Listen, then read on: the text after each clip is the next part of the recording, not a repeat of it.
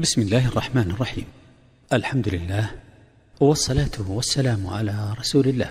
يسر تسجيلات الراية الإسلامية. بالرياض أن تقدم لكم شرح رسالة آداب المعلمين والمتعلمين للشيخ عبد الرحمن ابن ناصر السعدي والذي قام بشرحها فضيلة الشيخ الأستاذ الدكتور عبد السلام ابن محمد الشوير في اليوم العلمي بجامع سعيد بن زيد بحي الأندلس بمدينة الخرج في السابع والعشرين من شهر محرم لعام ألف وأربعمائة وثلاثة وأربعين من الهجرة النبوية. بسم الله الرحمن الرحيم. الحمد لله رب العالمين وأشهد أن لا إله إلا الله وحده لا شريك له وأشهد أن محمدا عبد الله ورسوله صلى الله عليه وعلى آله وأصحابه وسلم تسليما كثيرا إلى يوم الدين. ثم أما بعد فإننا في هذا العصر بمشيئة الله عز وجل سنجتمع لقراءة هذه الرسالة اللطيفة المعنونة بفائدة تشتمل على نبذة من آداب المعلمين والمتعلمين للشيخ عبد الرحمن بن ناصر السعدي رحمه الله تعالى. وقبل أن يبدأ القارئ في قراءة ما سطره الشيخ رحمه الله تعالى سأذكر مقدمة تتعلق بهذا الفن العظيم وهو آداب المعلمين والمتعلمين.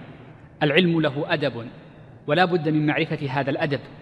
وقد ذكر أهل العلم رحمهم الله تعالى أن من لم يتعلم أدب العلم قد يحرم العلم. ومثلوا لذلك ببعض أصحاب عبد الله بن مسعود رضي الله عنه. فقد ذكروا عنه أنه حرم علما كثيرا بسبب عدم حسن أدبه وتلطفه أي بسبب عدم تلطفه مع ابن عباس رضي الله عنهما في تحصيله العلم وبسبب صيغة سؤاله ففاته علم كثير. فالمقصود أن الأدب تعلمه طريق لطريق أن معرفته واكتسابه وتحصيله طريق لتحصيل العلم ومعرفته. ولأجل ذلك تكلم أهل العلم في أهمية البداءة بأدب العلم للمعلم والمتعلم معا. حتى قال عبد الله بن المبارك رحمه الله تعالى نحن في حاجة للأدب أكثر من حاجتنا للعلم أو نحوا مما قال عبد الله بن المبارك. فالمقصود من هذا أن كلام أهل العلم في حاجة المتعلم لأدب العلم كثيرة ومن أول أو وكلامهم كثير ومتقدم كذلك. وقد جمع جماعة من أهل العلم كلام المتقدمين مثل ابن عبد البر في كتابه العظيم الجليل جامع بيان العلم وفضله. ومنهم كذلك الخطيب البغدادي في عدد من كتبه بل إنه نثر كلام السلف في عدد من كتبه كالكفاية والفقيه والمتفقه وفي غيرها من الكتب الكثيرة له في هذا الباب. ومثلهم السمعاني أيضا في أدب الإملاء والاستملاء. وعندما نبحث عن مسائل الأدب للمتعلم والمعلم فإننا نجد المؤلفين فيها على صنفين. الصنف الأول من يتكلم عن هذه الآداب على سبيل التبع. بمعنى أنه يذكر أحكام الآداب عموما ثم يورد أثناء ذلك بعضا من أحكام وتفاصيل الآداب المتعلقة بالعالم للمتعلم والمعلم. وهذه طريقة أغلب من كتب في الأدب أي آداب الشرعية سواء على سبيل الابتداء كالألفية في الآداب لابن عبد القوي وبعدها الآداب الشرعية لابن مفلح ومن كتب في الآداب من كثير من أهل العلم أو من جعلها ضمن كتاب مثل من يجعل أحكام الآداب بابا مستقلا من أبواب الفقه وهذه طريقة مشهورة عند المالكية والحنابلة. إذن نجد آداب المتعلم والمعلم ضمن الحديث عن مطلق الأدب. هذا الطريق الأول. الطريق الثاني أن هناك من أهل العلم من أفرد كتبا مفردة في أدب المعلم والمتعلم. ومن أول من كتب في ذلك بحسب ما أعلم وربما كان قبل قبله من لا أعلم محمد بن سحنون الفقيه المالكي الجليل القدر الواسع الاطلاع. وعبرت بسعة الاطلاع لأنه قال كلمة جميلة قال لا أعلم خلافا لأهل زماني ومن قبله إلا وقد علمته. وهذا يدل على سعة علمه بالفقه فإن من علم الخلاف علم الفقه. ولذا فإنه أحد أساطين مذهب أصحاب الإمام مالك رحمه الله تعالى. محمد بن سحون كتابه من أول ما وصلنا كاملا في أدب المتعلم والمعلم. ثم جاء بعده جماعة من أشهرهم أبو الحسن القابسي أيضا من أصحاب مالك. ثم جاء الزرنوجي من علماء القرن السادس الهجري تقريبا أو أول السابع. ثم تكاثرت الكتب وكثر التصنيف فيها وخاصة عندما نشأت المدارس. وأصبح تنظيم المدارس بدءا من عهد نظام الملك في الدولة السلجوقية. ومن أشهر من جمع كل ما في الباب ابن جماعة في كتابه التذكرة المشهور الذي اختصر اختصارات متعددة. أنا قصدي من هذا أن نعلم أن هذا الفن الذي نقرأ فيه المؤلفات فيه كثيرة إما على سبيل الانفراد وإما على سبيل التبع. وهذا المفرد من مدارس شتى وطرق مختلفة وبعضهم يكون نثرا وبعضهم يكون نظما وبعضهم ينقل ما قول من سبقه من طريقة الآثار والنقول وبعضهم يبتدئ بذكر النصائح والإرشادات في هذا الباب. ومن الرسائل اللطيفة التي تفضل فيها الإخوة القائمون على اختيار هذا الدرس باختياره هذه الرسالة اللطيفة التي كتبها الشيخ عبد الرحمن. والحقيقة أن هذه الرسالة لطيفة في ألفاظها. يظهر أن كاتبها كتبها لمن يحب وهذا واضح. فإنه كتبها نصيحة يبدو لبعض طلابه. ذكر فيها خلاصة تجربته في التدريس وفي التحصيل قبل ذلك وبين فيها كثيرا من الآداب. وميزة هذه الآداب التي أوردها الشيخ أن مؤلفها قريب العصر من زماننا وكثير مما يذكره في هذه الرسالة نحن نحس به ونشعر به ويمكن تنزيله على ما نحن فيه لأن بعض طرق التعلم السابقة في القرون الأولى ربما انقطعت هذه الطرق في التعلم فأصبح بعض مما يذكر في آداب التعلم عند المتقدمين لا يمكن تنزيله على أحوالنا في هذا الوقت. اختصارا للوقت وتوفيرا للجهد نبدأ الآن بكلام الشيخ فتفضل. بسم الله الرحمن الرحيم. الحمد لله رب العالمين والصلاة والسلام على أشرف الأنبياء والمرسلين نبينا محمد عليه أفضل الصلاة وأتم التسليم. ثم أما بعد فاللهم اغفر لنا ولشيخنا وللحاضرين والسامعين ولجميع المسلمين يا رحمن يا رحيم. قال الشيخ العلامة عبد الرحمن بن ناصر السعدي رحمه الله في رسالته الموسومة بآداب المعلم والمتعلم. بسم الله الرحمن الرحيم. يتعين على أهل العلم من المعلمين والمتعلمين أن يجعلوا أساس أمرهم الذي يبنون عليه حركاتهم وسكناتهم. الإخلاص الكامل والتقرب إلى الله بهذه العبادة التي هي أجل العبادات وأكملها وأنفعها وأعمها ويتفقد هذا الأصل الجليل في كل دقيق من أمرهم وجليل هذه المقدمة التي بدأ بها المصنف أجاد فيها وأحسن فقد تكلم عن أمر مهم يجب البداءة به قبل كل شيء وهو الإخلاص لله عز وجل. فإن العناية بالإخلاص لله عز وجل ومراجعة النية من الأمور المهمة التي يجب على كل مسلم مراجعتها في أحواله كلها وخاصة فيما يتعلق بالعلم. والمسلم يجب عليه أن يراجع نيته دائما. ومراجعة النية من جهتين. الجهة الأولى من حيث نفي الرياء والتسميع.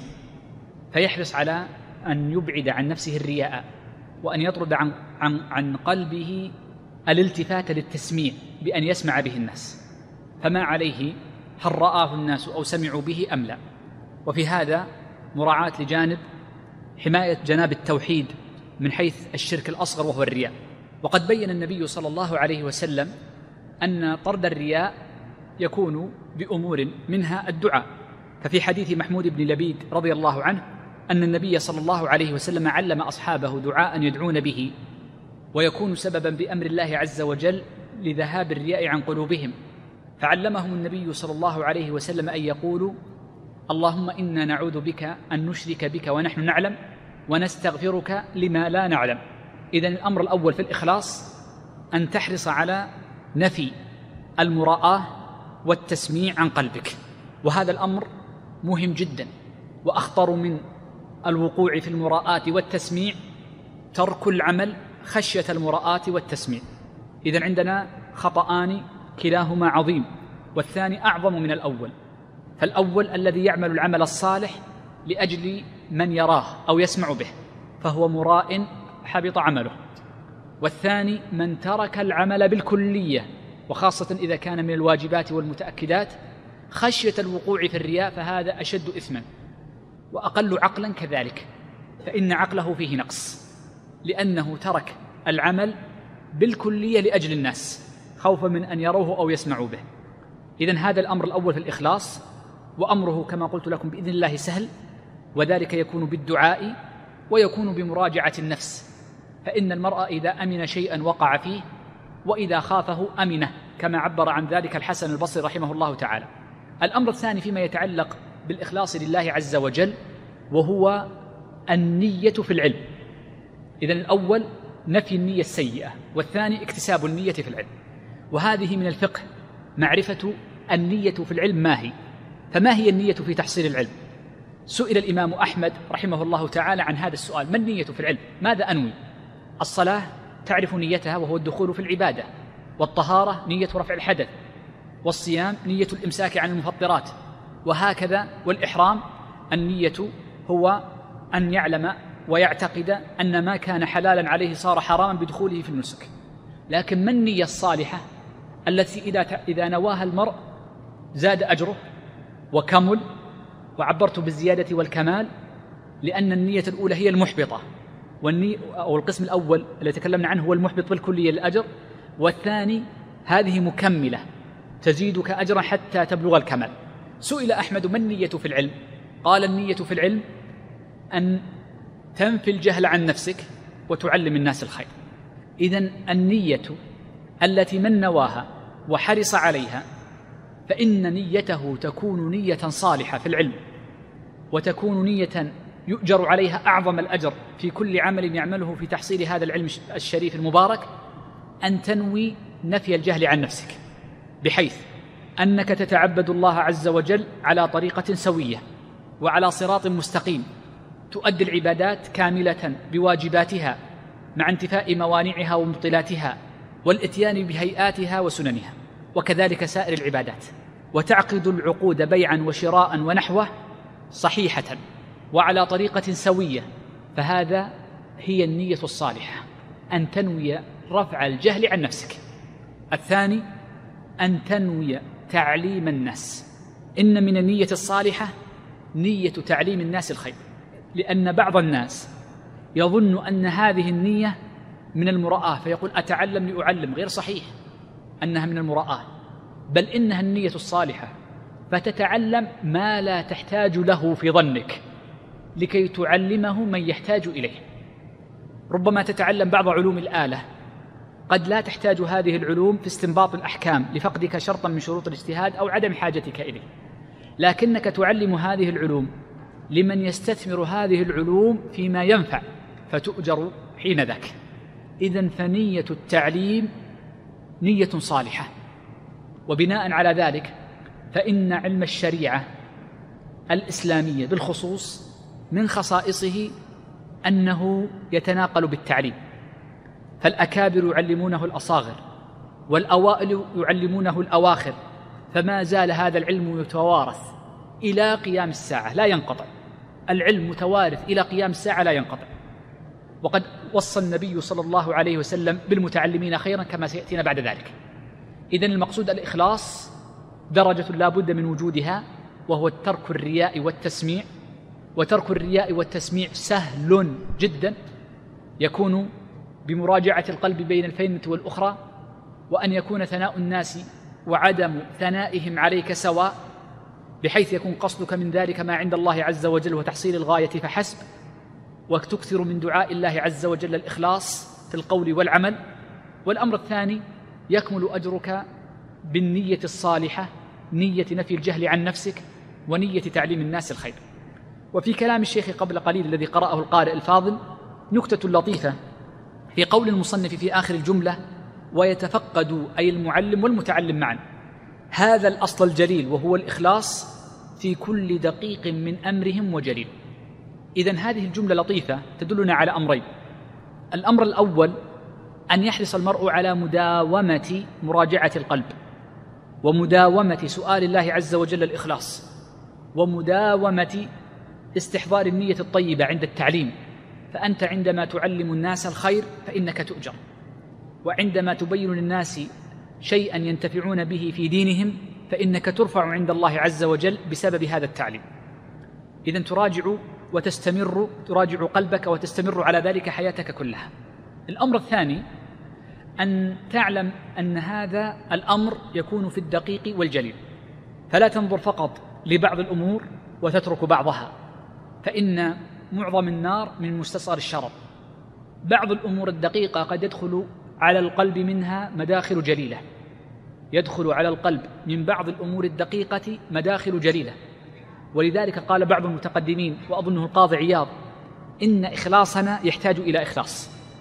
ومن أحسن من جمع آثار السلف في الإخلاص الحافظ أبو بكر بن أبي الدنيا تلميذ الإمام أحمد في كتابه الإخلاص. فقد جمع آثار السلف الصالحين رحمهم الله تعالى في هذا الباب وأورد أغلب ما في هذا الجزء وزاد عليه كلاما لطيفا الحافظ أبو الفرج ابن رجب رحمه الله تعالى المتوفى سنة 795 من الهجرة في رسالته عن الإخلاص وهذان الكتابان من ألطف الكتب المتعلقة بباب الإخلاص. لأن بعض الناس من المعنيين بالأدب قد يبالغ في هذا الباب مبالغة تجعل الناس يزهدون في العمل وتجعل الناس يكفون عن كثير من الخير خشية من فقد هذا الشرط ولكن نقول الناس درجات. فاعلم أن أفعال القلوب كلها بلا استثناء درجات ليس الناس فيها سواء وإنما أهم شيء انتفاء المانع المبطل للعمل بالكلية وهو المراءة والتسميع. نعم. الله عليكم.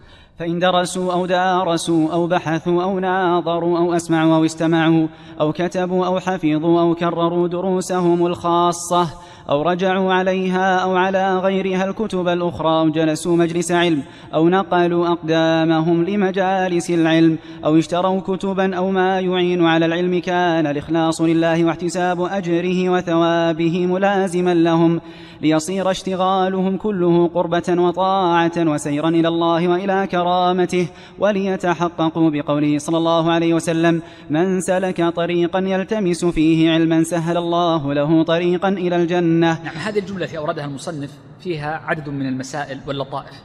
فمن اللطائف ما ذكره في آخر قوله وليتحققوا بقوله صلى الله عليه وسلم من سلك طريقا يلتمس فيه علما سهل الله له طريقا إلى الجنة. معنى هذا التأمل لهذا الحديث أن يستشعر العبد أن العلم عبادة. فإن استشعارك أن العلم عبادة وفيها تحصيل للأجر العظيم والوصول إلى الجنة فإنك حينئذ تراعي هذه النية وأنها عبادة من العبادات فتخلص فيها. الملحظ الثاني في كلام المصنف أنه خاطب بالنية المعلم والمتعلم. معا. فليس المطالب بذلك المتعلم فحسب لأن المعلم قد يدخل عليه من الرياء ويدخل عليه من التسميع وحب الثناء ما لا يقع من غيره. وذلك أن المرء إذا انتصب خطيبا أمام الناس أو معلما لهم فكان إذا تكلم انصتوا وإذا أشار إلى أمر أخذوا بقوله فإن قلب الآدمي ضعيف غاية الضعف ولربما وقع في نفس المتكلم ما لا يقع في نفس المستمع. ولذلك فإن المؤمن يجب أن يراجع نفسه ولو كان معلما. وليس معنى أن المرء يكون معلما أنه قد أمن من هذا الباب. بل إن المرء ربما أمن سنين طوال من هذا الشيء فلم يبق بينه وبين آخر عمره إلا يسير فيسبق عليه الكتاب فيعمل بعمل أهل النار فيدخلها كما جاء في الحديث. ولذلك المؤمن يجب أن يراعي قلبه. وقد جاء عن بعض السلف وهو الإمام أحمد رحمه الله تعالى أنه كان يقول بعد بعد قبل وفاته بقليل فلما صحى من سكرته قيل له ماذا قصدت ببعد بعد؟ قال كأن الشيطان قد تمثل لي قبل وفاة وهو في احتضاره يقول فتني يا أحمد. فأقول له بعد بعد فما زلت في الحياة فإن الفتنة لا يؤمن عليها حي مطلقا. كما قال عبد الله بن مسعود رضي الله عنه الحي لا تؤمن عليه الفتنة لا تؤمن عليه الفتنة ومن الفتنة فتنة القلوب في قضية فقد الإخلاص بالكلية بالرياء والتسميع أو بغير ذلك من أسباب الضلال. نسأل الله عز وجل السلامة. ومن النكت المتعلقة بكلام الشيخ الذي قرأه القارئ قبل قليل إشارته رحمه الله تعالى لوسائل تلقي العلم. فقد ذكر وسائل مهمة والعلماء رحمهم الله تعالى يقولون إن العلم لا ينال بوسيلة واحدة بل لا بد من تحصيله بأكثر من وسيلة لأن مجرد الاستماع فحسب أو التلقي بأحد الوسائل لا يتحصل به المرء كامل العلم أو لا يتحصل له به كثير من العلم. فمن الوسائل التي أوردها المصنف إذا درس أو دارس. فقوله درس من وسائل العلم الدراسة بأن يحضر الدرس أو يدرس لأنه فعل مشاركة بين المعلم المدرس وبين الحاضر. أو دارس فالدرس يكون بين معلم ومتعلم. والمدارسة تكون بين المرء وقرينه من وسائل تحصيل العلم المهمة المدارسة. وقد قال العلماء رحمهم الله تعالى إن المرء لا يكون متحصنا العلم إلا بأخذه ممن هو أعلى منه وممن هو دونه وممن هو مثله. ويكون تحصيل العلم ممن هو في درجته بالمدارسة. ولذلك فإن من أعظم نعم الله عز وجل على العبد أن يوفق لصحبة صالحة من طلبة العلم. إذا اجتمع معهم لا يخوضون في فلان وفلان في أعراضهم ولا يخوضون فيما لا ينفعهم من أمور الدنيا وتصرفات بعض الناس وإنما ينشغلون بالعلم. يذكر لك مسألة لم تكن قد وقفت عليها أو ينبهك لفهم لم يكن قد ظهر لك أو يورد لك إشكالا لم تكن قد انتبهت إليه قبل. وكثير من المدارسات الدقيقة وكثير من الفوائد الدقيقة لم تظهر إلا في المدارسات. كثير من أهل العلم يذكرون في كتبهم وهذه الفائدة ظهرت في المدارسة. أضرب لك مثالين أو ثلاثة أمثلة متقدمة وأمثلة متأخرة. فمن أقدم الأمثلة في ذلك ما جاء عن أبي الدرداء رضي الله عنه ومعاذ رضي الله عنه كذلك وعن باقي الصحابة رضوان الله عليهم. فإن أبا الدرداء إذا رأى معاذا قال تعال بنا نؤمن ساعة فيجلسان فيتذاكران كلام الله عز وجل. وهذا من المدارسة. وأبو الوفا بن عقيل إذا قرأت كتابه الجليل العظيم أو ما وصلنا من كتابه الجليل العظيم كتاب الفنون ترى فيه من المناظرات وحسنه ما يكون فيه خير عظيم. ومن المتأخرين ذكر بعض المحشين المتأخرين على الروم وهو ابن فيروز في حاشيته المطبوعة بعض الفوائد التي لا تكاد توجد في غير حاشيته ويقول وهذه مما أبداه بعض أذكياء الطلبة. فكانت مذاكرة بينه وبين قرنائه أو مذاكرة بينه وبين طلابه. فلذلك نعمة أن المرء يعيش مع صحبة وبيئة فيها علم. وقد أوصى الإمام أبو حنيفة رحمه الله تعالى تلميذه محمد بن الحسن في رسالته في أدب التعليم له.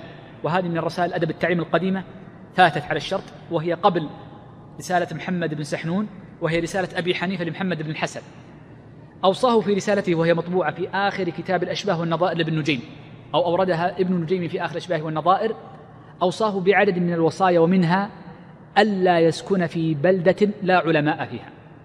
والإمام مالك لما ذكر أقرانه ذكر أن الذين أصبحوا من النجباء من تلاميذ ربيعة بن عبد الرحمن ربيعة الرأي أربعة وأن أحدهم سكن في قرية نائية لا أحد فيها من أهل العلم ولا من طلابه فذهب علمه ولم ينقل عنه.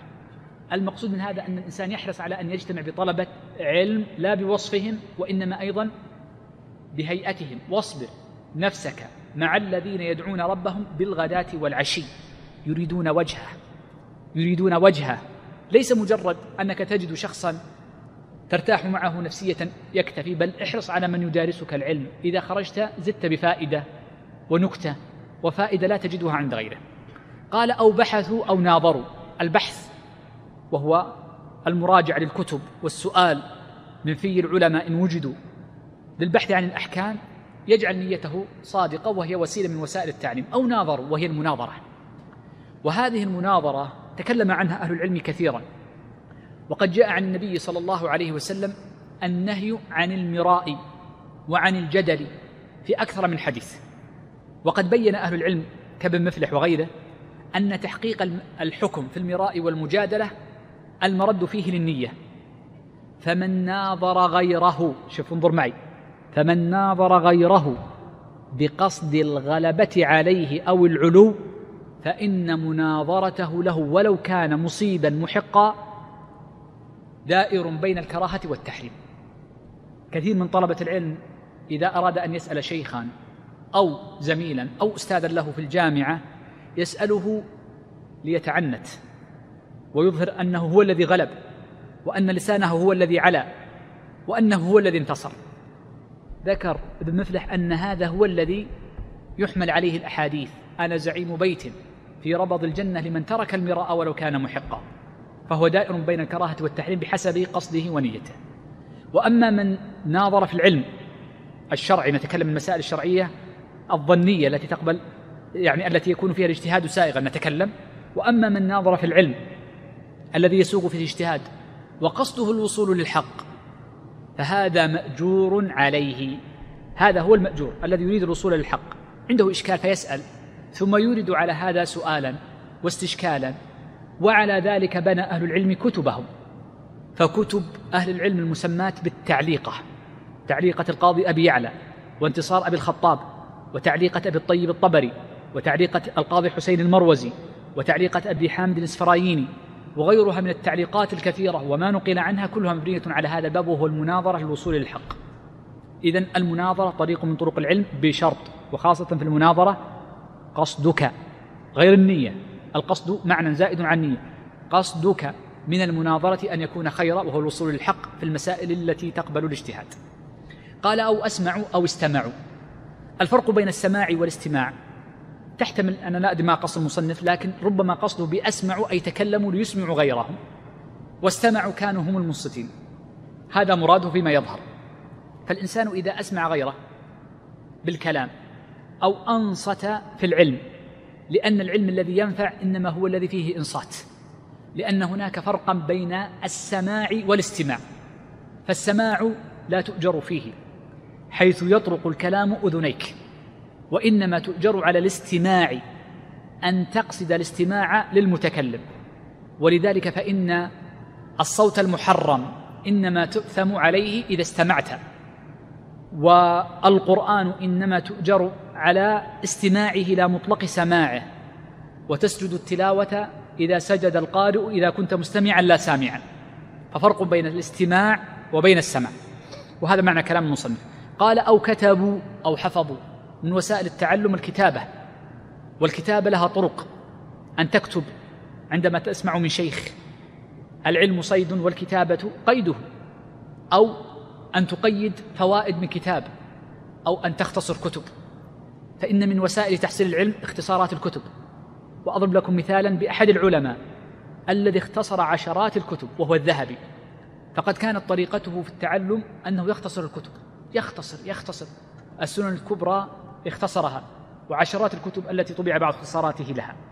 قال أو كرروا دروسهم الخاصة. من وسائل التعليم ذكرها الشيخ تكرير الدروس الخاصة. بمعنى أنه قوله الخاصة يعني يعود للتكرير فيكرر الدرس. العلم تستمعه يبقى في ذهنك منه لنقول نصفه لنقل بعد فترة هذا النصف لن يبقى إلا أقل من عشره. لكن إن كررته بقي هذا النصف في ذهنك. بل ربما ازداد فهمك عن النصف. فالعلم لا بد فيه من التكرار. التكرار هذا لا بد منه. وكان بعض أهل العلم يكرر المحفوظ عشرات المرات.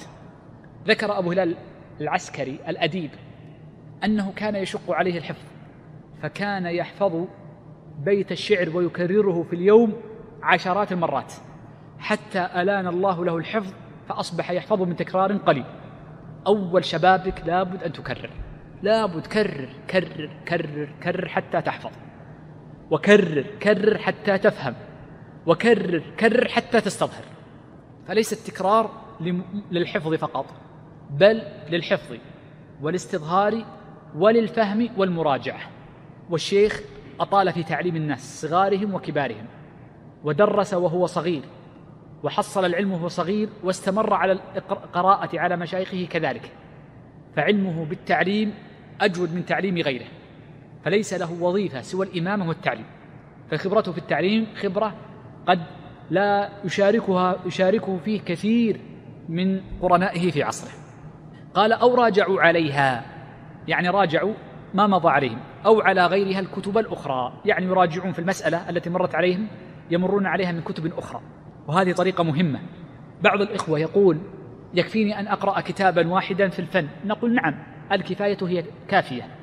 ولكن من طرق تثبيت العلم أن تقرأ المسألة في أكثر من كتاب. إذا قرأت المسألة من كتاب ثم قرأتها في الثاني ثم قرأتها في الثالث والرابع ستصبح المسألة في ذهنك مسلمة. قد لا تعرف نصها حفظا. أو من عين الكتاب الذي نقلته لكن من كثرة تكرارها وخاصة إذا كانت الكتب على طريقة واحدة ومنهج واحد في المسلك.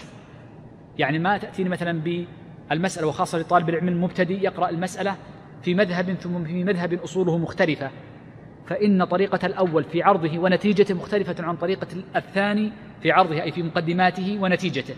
فيتشتت ذهنك كأنها مسألتان مختلفتان.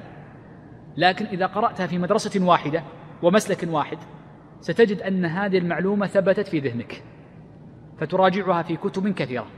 قال أو جلسوا مجلس علم. وهذه مسألة مهمة احرص عليها. من أعظم أعظم وسائل تحصيل العلم جلوس مجالس العلم. مجالس العلم لا تستخفن بها فإن فيها من البركة وفيها من اليمن ما لا يوجد في غيرها. وهذا واضح وضوح الشمس في رابعة النهر مجالس العلم وخاصة إذا كانت في المساجد ففيها من البركة وحث الملائكة والخير والدخول في الأحاديث الكثيرة الواردة في فضل من مكث في مسجد أو حصل علما أو اجتمع في ذكر ما لا يوجد في غيرها من الوسائل. فاحرص على التحصيل عن طريق مجالس العلم. نعم قد تحصل بغيرها بقراءة قد تحصل بغيرها لكن إن أمكنك واستطعت وتيسر عليك حضور مجالس العلم فلا تحرم نفسك. والأمور معلقة بالاستطاعة والقدرة ومن لم يقدر فلا يكلف الله نفسا إلا وسعها ويؤتي الله عز وجل المؤمن على نيته أكثر مما يؤتيه على عمله. إن إخوانا لكم في المدينة ما قطعتم واديا ولا رقيتم جبلا إلا كان لهم من الأجر مثل ما لكم حبسهم العذر. حبسهم العذر فمن عذر لسبب أو لآخر والأسباب كثيرة للآدميين مرض عجز أسباب كثيرة بلده مختلفة غريب وهكذا. فهو مأجور والله عز وجل كريم أن ينيله في الدنيا والآخرة ما قصده بنيته. ثم قال الشيخ أو اشتروا كتبا. شراء الكتب أيضا من الوسائل المهمة لتحصيل العلم وخاصة في وقتنا أكرر. لما؟ لأن في وقتنا السماع قل والتدريس قل وحلق العلم قلت كذلك وقل ما تجد شيخا يجلس في كل يوم خمسة مجالس إلى عهد قريب يعني إلى قبل ثلاثين أو أربعين سنة هناك من المشايخ من يجلس اليوم كله يدرس. الآن الناس ذهبوا في شغالهم في معاش في وظائفهم في المشاوير البعد بين البلدان. بيني وبينكم هنا ساعة ونصف بين بيتي وبين هذا المسجد. وهكذا. إذا هذه المشاوير بعد الناس في في في طرقهم ونحو ذلك من الأمور تجعل التحصيل العلم فيه من من المجالس يعني والاجتماع فيه من المشقة على كثير من الناس ما لا يستطيع في كل يوم. فلذلك كان من وسائل تحصيل العلم شراء الكتب. إن كان المرء ذا جدة وقدرة مادية. فإن لم يكن قادرا فهناك بدائل. بإمكانك أن تذهب للمكتبات العامة. وما زال أهل العلم يذهبون المكتبات العامة يقرؤون وأن تعجب من إعراض بعض طلبة العلم عن هذه المكتبات. لأن المكتبات ليس من مجرد من فقد الكتاب بل إن هذه المكتبات فائدتها أن بعض الكتب لا توجد إلا فيها فكثير من الكتب فقدت ولم تطبع أو حاجتك لها مرة لا تحتاج إلى شرائها وتبقى لك دائما. فمجرد اطلاعك على أسمائها ومعرفتك على مجمل ما احتوته هذه الكتب أو قراءتك مسألة أو مسألتين فيها فيها فائدة عظيمة. ولذا فإن طالب العلم لا بد أن يستمر على القراءة ومن الوسائل المعينة على القراءة شراء, شراء الكتب واقتناؤها. وهذا شراء الكتب يعني له يعني تفاصيل وأحوال متعددة. قال أو ما يعين على العلم يعني وسائل العلم غير محصورة ويدل على عدم حصرها. قول النبي صلى الله عليه وسلم من سلك طريقا نكرة في سياق إثبات فتعم عموم أوصاف فيدلنا على أن طرق العلم كثيرة غير محددة ليست محصورة بل هي كثيرة جدا. والآن جاءتنا من الطرق الحديثة وسائل الاتصال والاستماع والمشاهدة والمراسلة وغيرها من الوسائل التي كانت مفقودة إلى عهد قريب. نعم بنى على ذلك الإخلاص الذي تقدم ذكره تفضل. أحسن الله إليك. فكل طريق حسي أو معنوي يسلكه أهل العلم يعين على العلم أو يحصله فإنه داخل في هذا. نعم كلام صحيح. ثم بعد هذا يتعين البداءة بالأهم فالأهم من العلوم الشرعية وما يعين عليها من علوم العربية. وتفصيل نعم. بدأ المصنف رحمه الله تعالى من ذكر مسألة مهمة وهي قضية البداءة بالأهم فالأهم. وهذه مسألة من المسائل المهمة وهي قضية أن الإنسان يترقى في مراقي العلم درجة درجة. وهذا مأثور عن السلف رحمهم الله تعالى. فقد جاء عن عبد الله بن عباس رضي الله عنهما أنه قال الربانيون الذين يعلمون الناس صغار العلم قبل كباره. ومن أراد أن يتعلم كبار العلم قبل صغاره فإنه يكون كالمنبت. لا أرضا قطع ولا ظهرا أبقى. ومن نعم الله عز وجل على العبد أن يوفق لهذا الذي أشار إليه المصنف وهو البداءة بالأهم قبل المهم.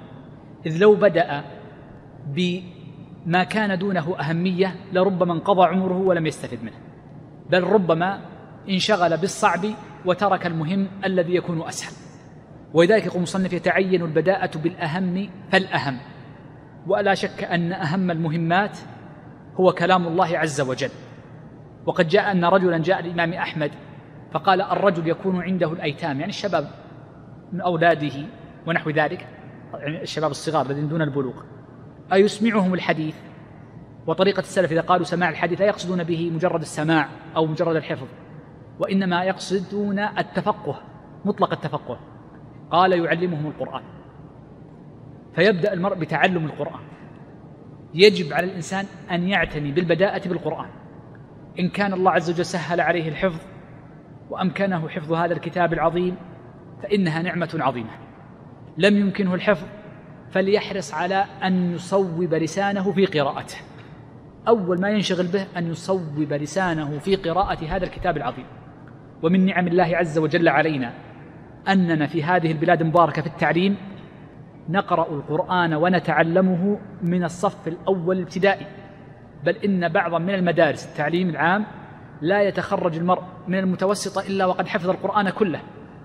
فيكون هذا معينا له للانطلاق بعد ذلك في في في, في, طرق التعليم بعد ذلك. فالمقصود أن أول ما يبدأ به طالب العلم هو أن يعنى بالقرآن وسيأتي بكلام المصنف. قال من العلوم الشرعية؟ وأولها القرآن والحديث والتفقه فيهما. وما يعين عليه من علوم العربية. ثم قال وتفصيل هذه الجملة معروف.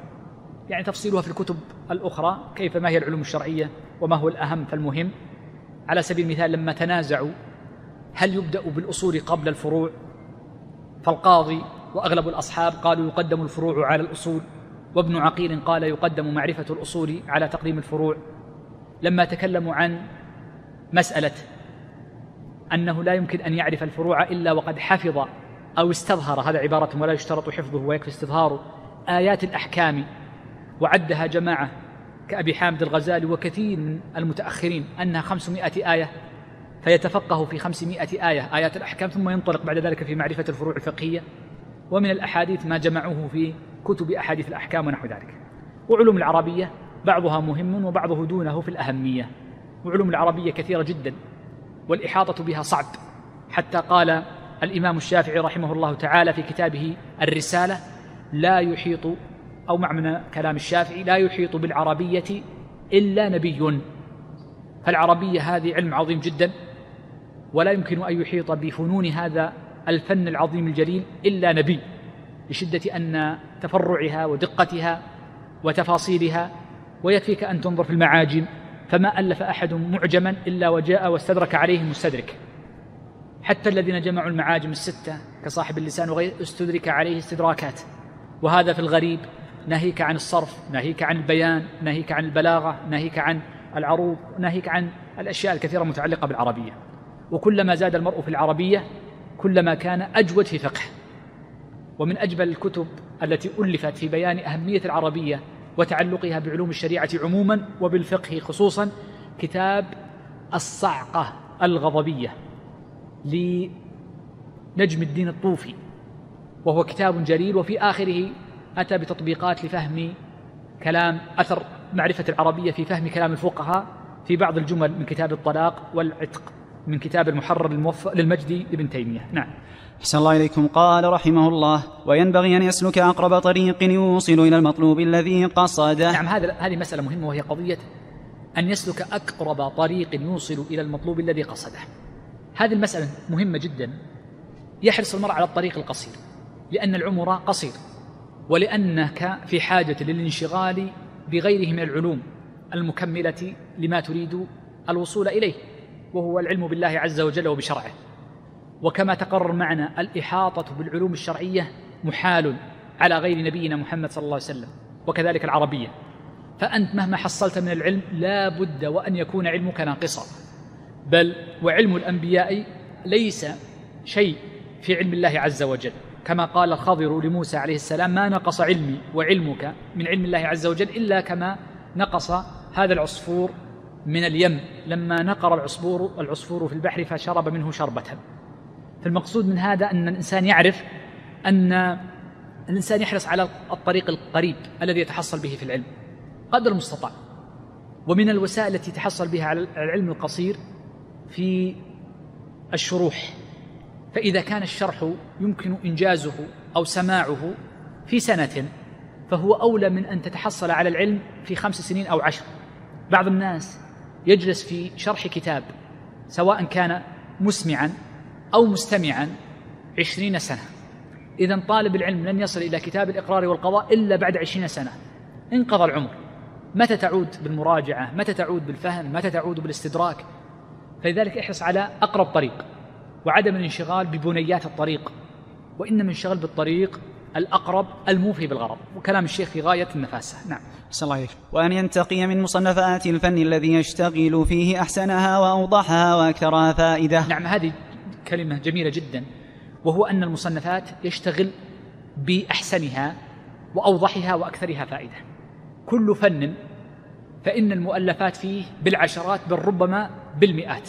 فالفقه بالعشرات. وبل بالمئات. وكثير من الناس يقول اليوم نختار مختصر فلاني أو الفلاني. فما الذي تختاره منها؟ تختار أحسنها وأوضحها وأكثرها فائدة. قد يقول طالب العلم كيف أعرف ذلك؟ نقول تعرف ذلك عن طريق من سبقك. وقد قلت لكم وهذا دائما نكرر هذا الأثر وهو قول بعض شيوخ الإمام مالك إن من نعمة الله عز وجل على الحدث أن يوفق لشيخ من أهل السنة.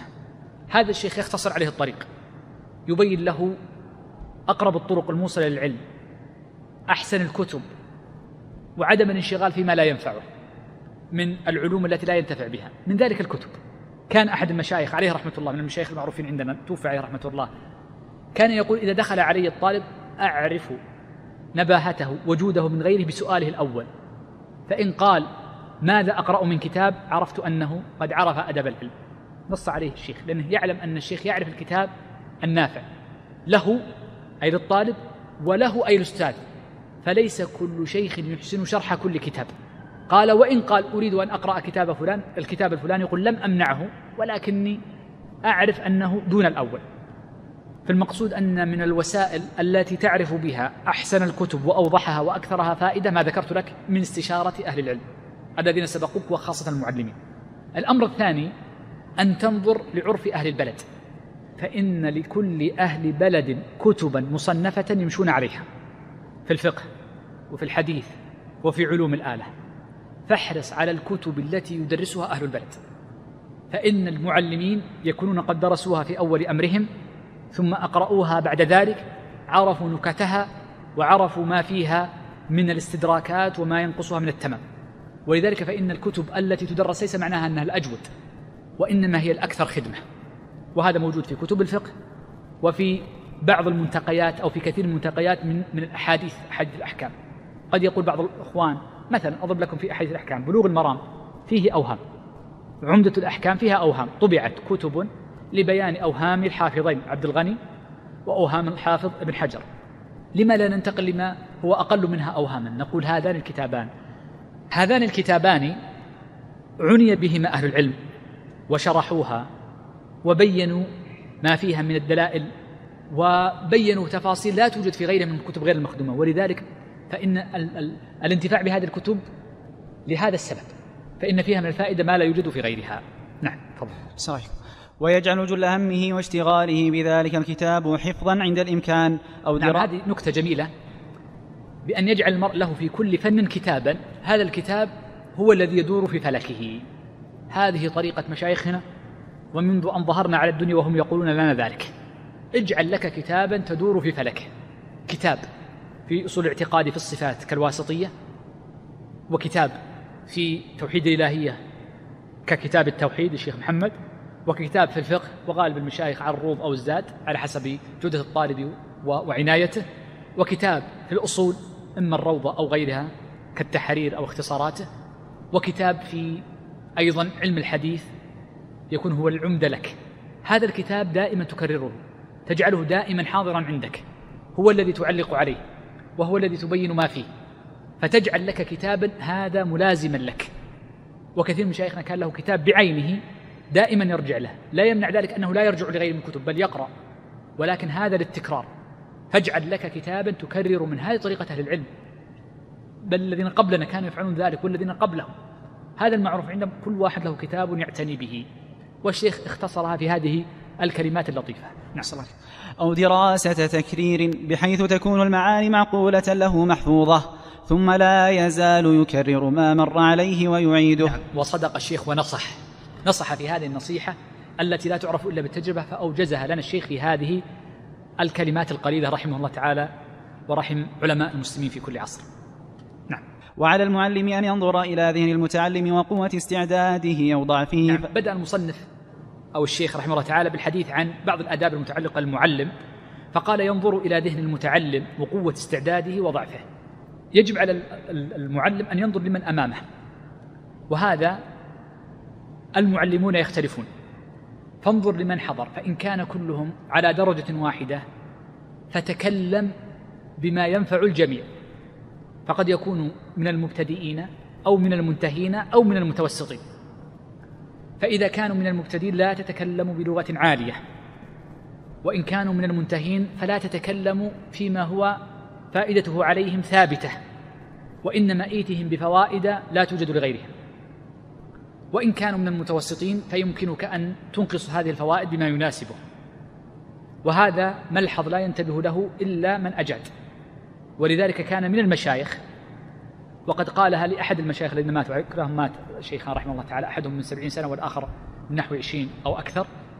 يقول لما حضرت عنده فترة قال يا شيخ فلان الذي عندي انتهى معناه أني أنك جاوزت الفئة التي أقدر عليها أنا أستطيع أن أعلم المبتدئ والمتوسط فما عندي انتهى اذهب لفلان. وهذا من مشايخ الرياض اذهب لفلان.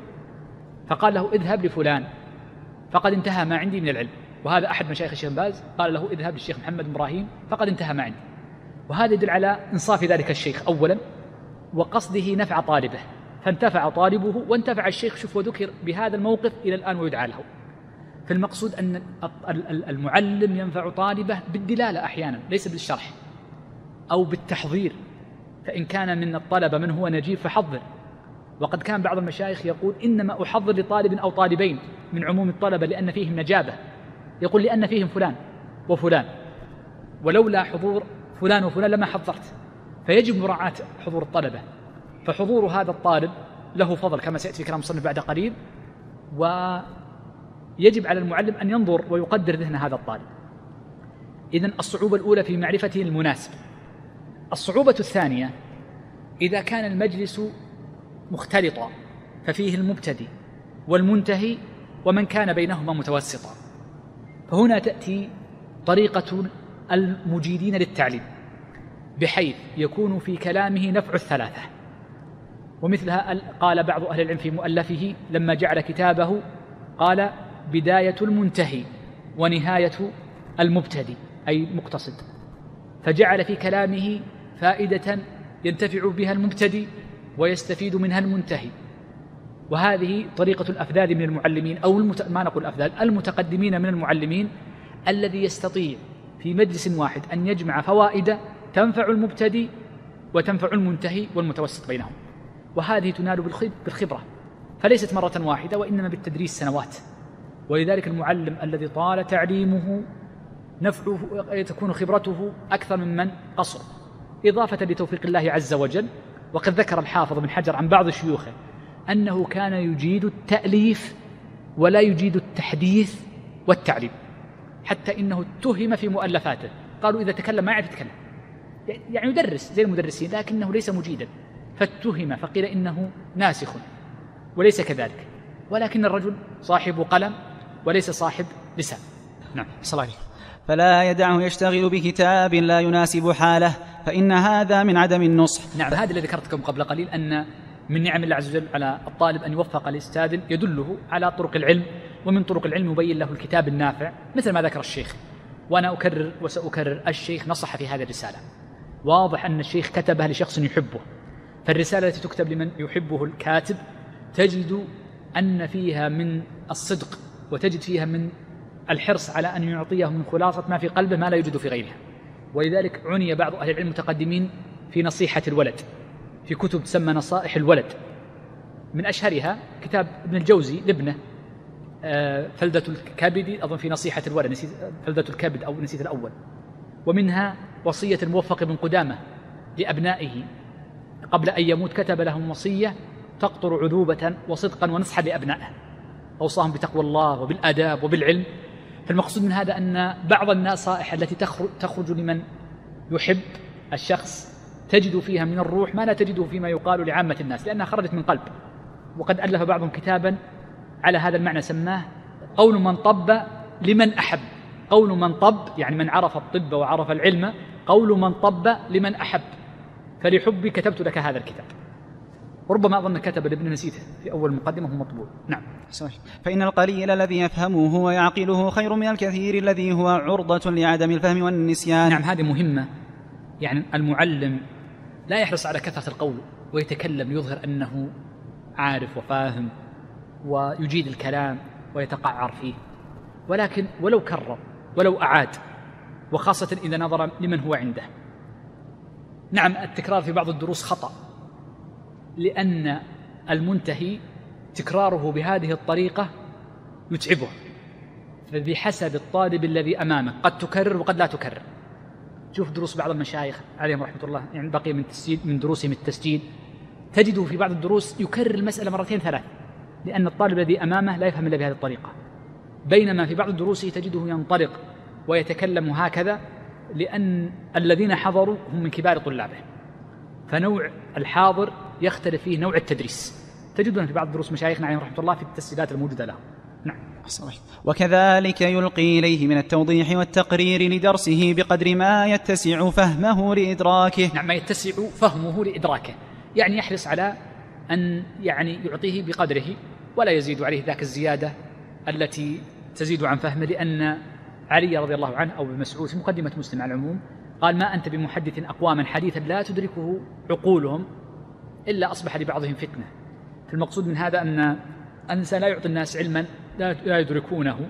وإن كان في بعض الأحيان يحتاج أن يبين لهم علما لا تدركه عقولهم من باب التأديب لهم ليعرفوا أنهم لم يحيطوا بالعلم. فإن من طرق بعض المعلمين مذكورة منذ القدم أنه لا بد أن يبين للطالب أنك ما زلت قاصرا في علمك. الشاب بطبعه قد يعجب بنفسه من الطلبة وخاصة إذا تعلم أوائل العلم. فمن واجب المعلم عليه أن يعرف الطالب قدره ومن الطرق في ذلك إما أن يذكره بأدب التواضع في العلم أو أن يبين له عدم معرفته بالعلم فيذكر له من دقائق العلم ما لا يدركه عقله ليعرف أنه يعرف قدرك. أو يكون بالنصح المباشر.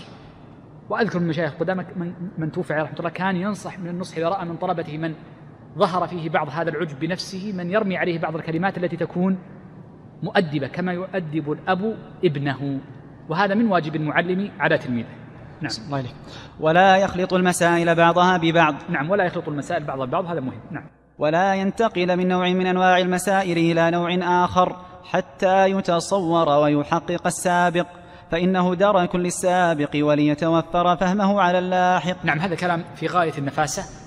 وهو أن الشخص لا ينتقل من علم إلى علم ومن باب إلى باب حتى في العلم الواحد حتى يتم فهم ذلك الباب.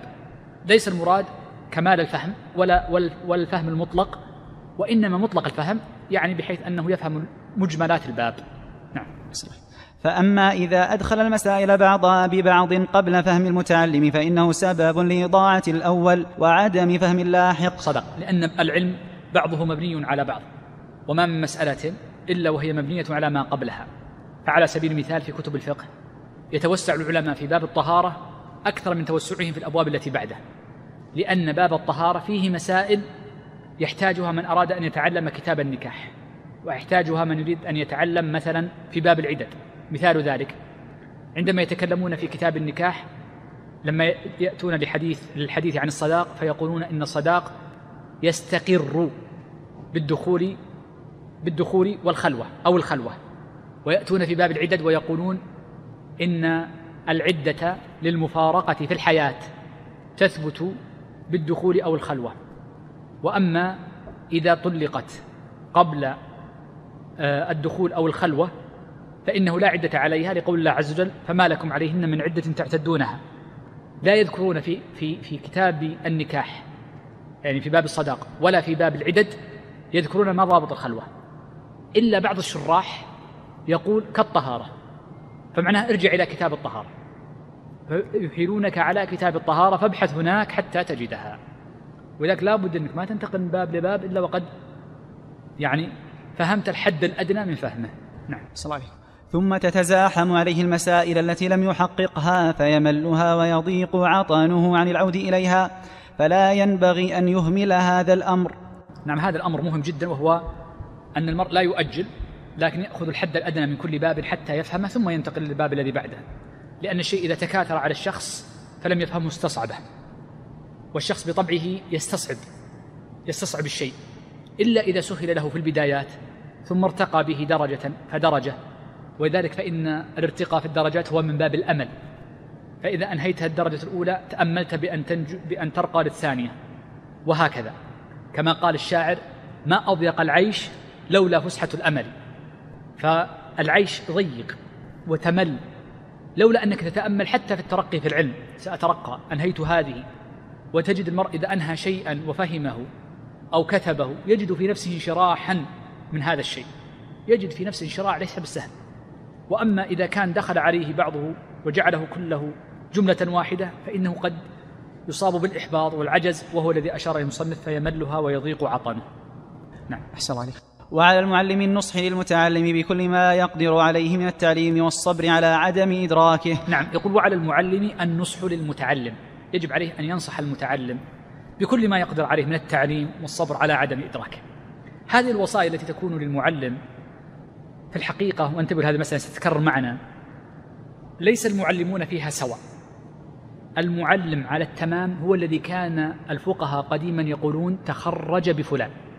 فغالبا الشخص قد يكون درس وسمع واستجاز ودرس في الجامعة على عدد من المعلمين. بل لو نظرت في شيوخ بعض العلماء مثل مشيخات الذهبي شمس الدين الذهبي رحمه الله تعالى تلميذ الشيخ تقي صاحب المؤلفات الكثيرة فإن له أربعة معاجم مطبوعة معاجم الشيوخ أربعة معاجم. لو عددت من عده من شيوخه لا أعرف كم بالضبط لكن أظنهم بالألوف. ليس حق هؤلاء عليه سواء. وإذا قالوا يقولون تخرج بفلان يتخرج بشخص بشخصين. هذا التخرج أحيانا يكون بسبب طول الملازمة وأحيانا يكون بسبب الانتفاع ولو قلت الملازمة. محمد بن أحمد عبد الهادي لم يلازم الشيخ تقي الدين إلا فترة قليلة لكن تخرج به. فالمقصود من هذا الكلام الذي أريد أن أصل له أن بعض المعلمين يتصل به الطالب اتصالا حتى يتخرج به يتخرج به ويتفقه عليه. ولذلك فإن أسانيد الحديث غير أسانيد الفقه. أسانيد الفقه ليس فيها إجازات وإنما فيها تفقه. فيقرأ عليه كتابا كاملا قراءة تفقه لا قراءة جرد وسماع. فليست مطلق الإجازة الفقه ليس فيه إجازات وإنما تفقه وتخرج. فمحمد الخلوة جالس عند خادم منصور فتخرج به. فلان جلس عند فلان وهكذا بكل شخص شيخ تخرج به أو اثنان بالكثير أو ثلاثة. هنا يقول الشيخ إن المعلم يجب عليه النصح المتعلم بقدر بكل ما يقدر عليه من التعليم والصبر على عدم الإدراك بحسب قرب ذلك المتعلم وبعده ويعني آه، ما يجعل الله عز وجل من الانتفاع من هذا الباب. نعم. صلى الله عليكم. وعلى عدم أدبه وجفائه. نعم حتى وإن حدث منه بعض الخطأ لا بد من الصبر. أكرم المعلمين معلم الناس الخيرية محمد صلى الله عليه وسلم. كان فيه من الصبر على الناس وسؤالهم وأذاهم ما لم يصبره أحد من البشر. أبدا كان أحدهم يأخذ بردائه حتى يؤثر رداؤه في يعني جيبه عليه الصلاة والسلام أو جيب, جيب ثوب النبي صلى الله عليه وسلم يؤثر في جلده عليه الصلاة والسلام. فبأبي هو وأمي صلوات الله وسلامه عليه ما أكرمه. وما أحلمه وما أطيبه حيا وميتا. فالمقصود من هذا أن الصبر على الناس وأذاهم إضافة إلى أنهم من الاقتداء بسيد المرسلين صلوات الله وسلامه عليه فإنه سبب لبذل العلم ونفع الناس. وكثير من الناس قل انتفاع العلم به بسبب سوء خلقه. أحد العلماء في القرن الماضي وهو من علماء اللغة وليس من علماء علماء الشريعة. وله شرح مشهور على الكامل لابن المبرد حتى قال بعض تلاميذه أو تلاميذ تلاميذه وتلميذ تلاميذه مات. قال إن هذا الرجل هو من آخر اللغويين على طريقة المتقدمين لم يأتي بعده أحد. ولن أذكر اسمه لكي لا تكون غيبة. المقصود أن هذا الرجل قالوا لم يكن يحضر درسه إلا عشرة. لا يزيد. لا يمكن أن يزيدوا عن عشرة. قال أحد تلاميذه في بعض كتبه قال ولذلك أسباب ثلاثة. أحد ذلك تلك الأسباب أنه كان ضيق العطن. أي كلمة تأتيه يغضب منها وكان أغلب الطلبة لا يتحملون سوء خلقه إلا هؤلاء العشرة. ولذلك قل انتفاع الناس به. وكلام المصنف هنا في الصبر على عدم أدب التلميذ وعلى جفائه وانقطاعه سبب لنفع التلميذ ونفع المعلم لأن التعليم أجر أجر عظيم عند الله عز وجل فلا بد للإنسان أن يصبر. وهذا من علامة الإخلاص أنك تريد التعليم وإن أوذيت وإن رفع عليك الصوت بالسؤال وإن أخطأ عليك في الحجاج اليوم وغدا يندم. إذا كبر بعد عشر عشرين ثلاثين كم من امرئ سأل شيخه قبل عشرات السنين سؤالا ود أن لم يسأله ذلك السؤال. كثير كثير. اسأل طلبة العلم الذين يعني مرت عليهم سنين حتى جاوزوا سن يعني بلوغ سن الأشد. ستجد أنه لو تأمل في حاله لندم على بعض الأسئلة وبعض الكلام الذي قاله في أول أمره لكن نفعه الله بحلم شيخ نعم. صلى مع شدة حرصه على ما يقومه ويحسن أدبه. نعم هذا له خلق لا بد من العناية بحسن الأدب. وقد ذكرت لكم عن بعض تلاميذ ابن عباس.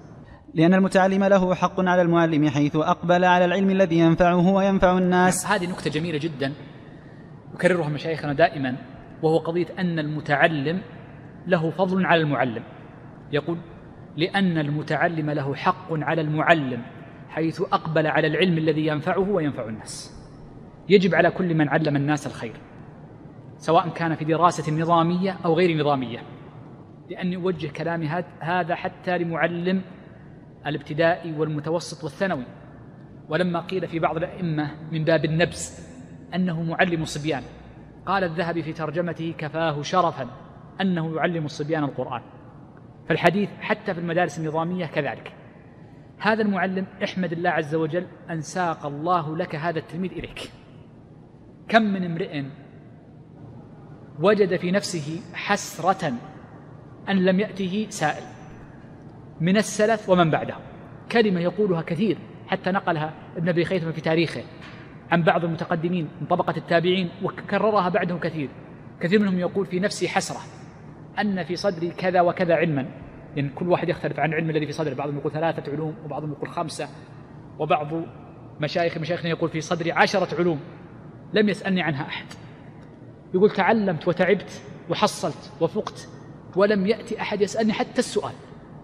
وقد جاء أن بعض السلف وهو سفيان أظن الثوري أو غيره دخل مكة فلم يأته أحد يسأله في العلم فتعلق بأستار الكعبة قال يا ربي يا ربي بأي ذنب لم أسأل؟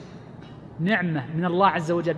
بس إذا كنت متأهل لا تكن متصدرا من غير تأهل. انتبه. فرق يا شيخ أنا أكلمك عن سفيان. ما أكلمك عن أحد الناس. أنا أكلمك عن سفيان. عن فلان وفلان ممن أشار لهم القاصي والداني. فلا تجعل نفسك منزلة سفيان لكن أتكلم عن المتأهل. أنت أن يأتي هذا الطالب عندك في المدرسة أبوه وأمه يأتيان به إليك في فصلك. هذا الطالب يأتي باختياره ويحضر إليك في مسجد. نعمة من الله فله فضل عليك. كثير من المشايخ عليه رحمة الله أتذكرهم إلى الآن. يقول إذا قلنا له جزاك الله خير قال أنتم جزاكم الله خير جئتوني في البيت تقرؤون. أنتم تذكرون بالعلم أنتم تجعلون أكتسب العلم أجدد العلم أكتسب الأجر أنتفع أبحث أذاكر. فالمعلم دائما يستشعر هذا الأمر. أن الفضل للطلاب كما أن لك فضل ربما أحد الطرفين يكون أعظم فضلا علمه عند الله بحسب النية. نعم. صحيح.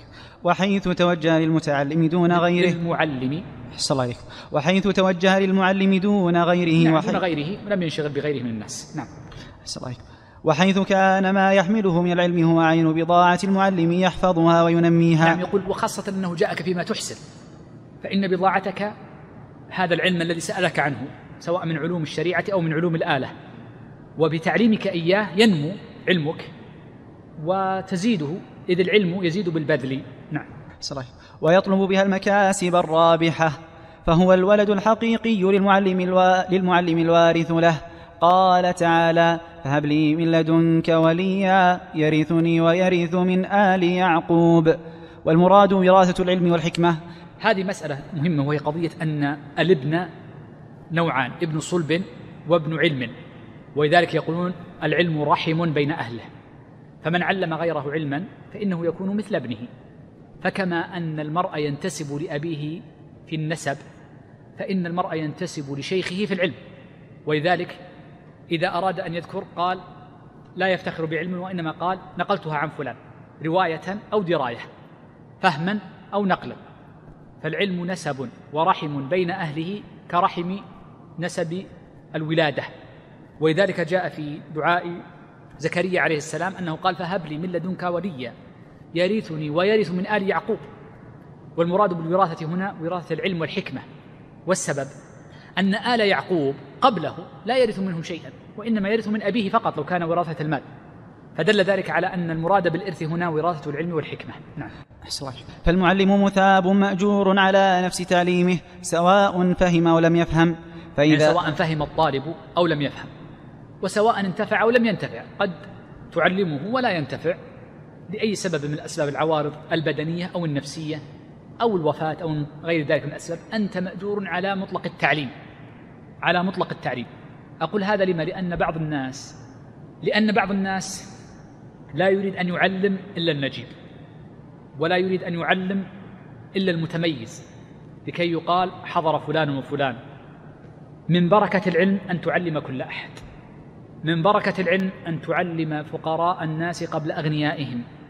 بل إن الغالب على أهل العلم كما ذكر ذلك بعض المؤلفين في الأدب وهو العباسي أن الغالب على أهل العلم على طلبة العلم ليس أهل العلم على طلبة العلم المبتدئين أن يكونوا أهل فقر.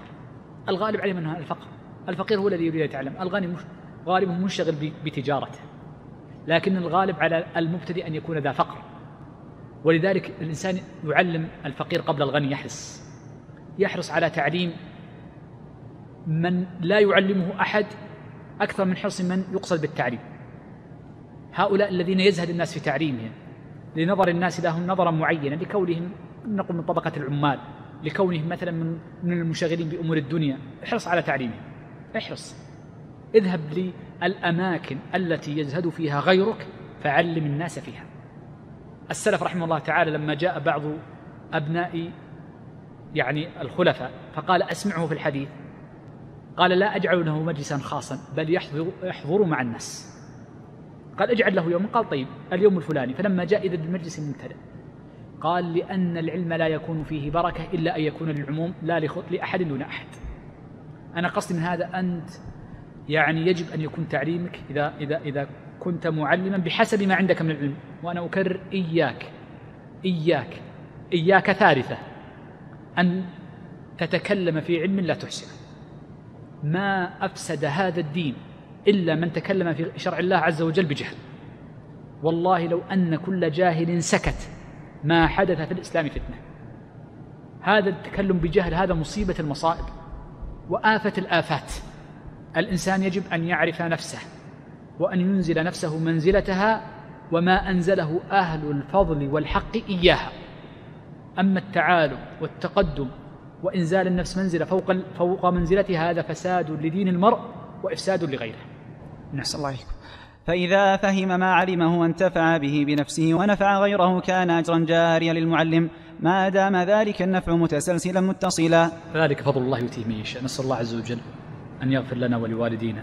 نعم. اللهم وهذه تجارة بمثلها يتنافس الموفقون. الله. كلام في غاية النفاسة إلى الآن الناس يذكرون الأئمة من الصحابة رضوان الله عليهم ويذكرون كبار التابعين وينقلون علمهم.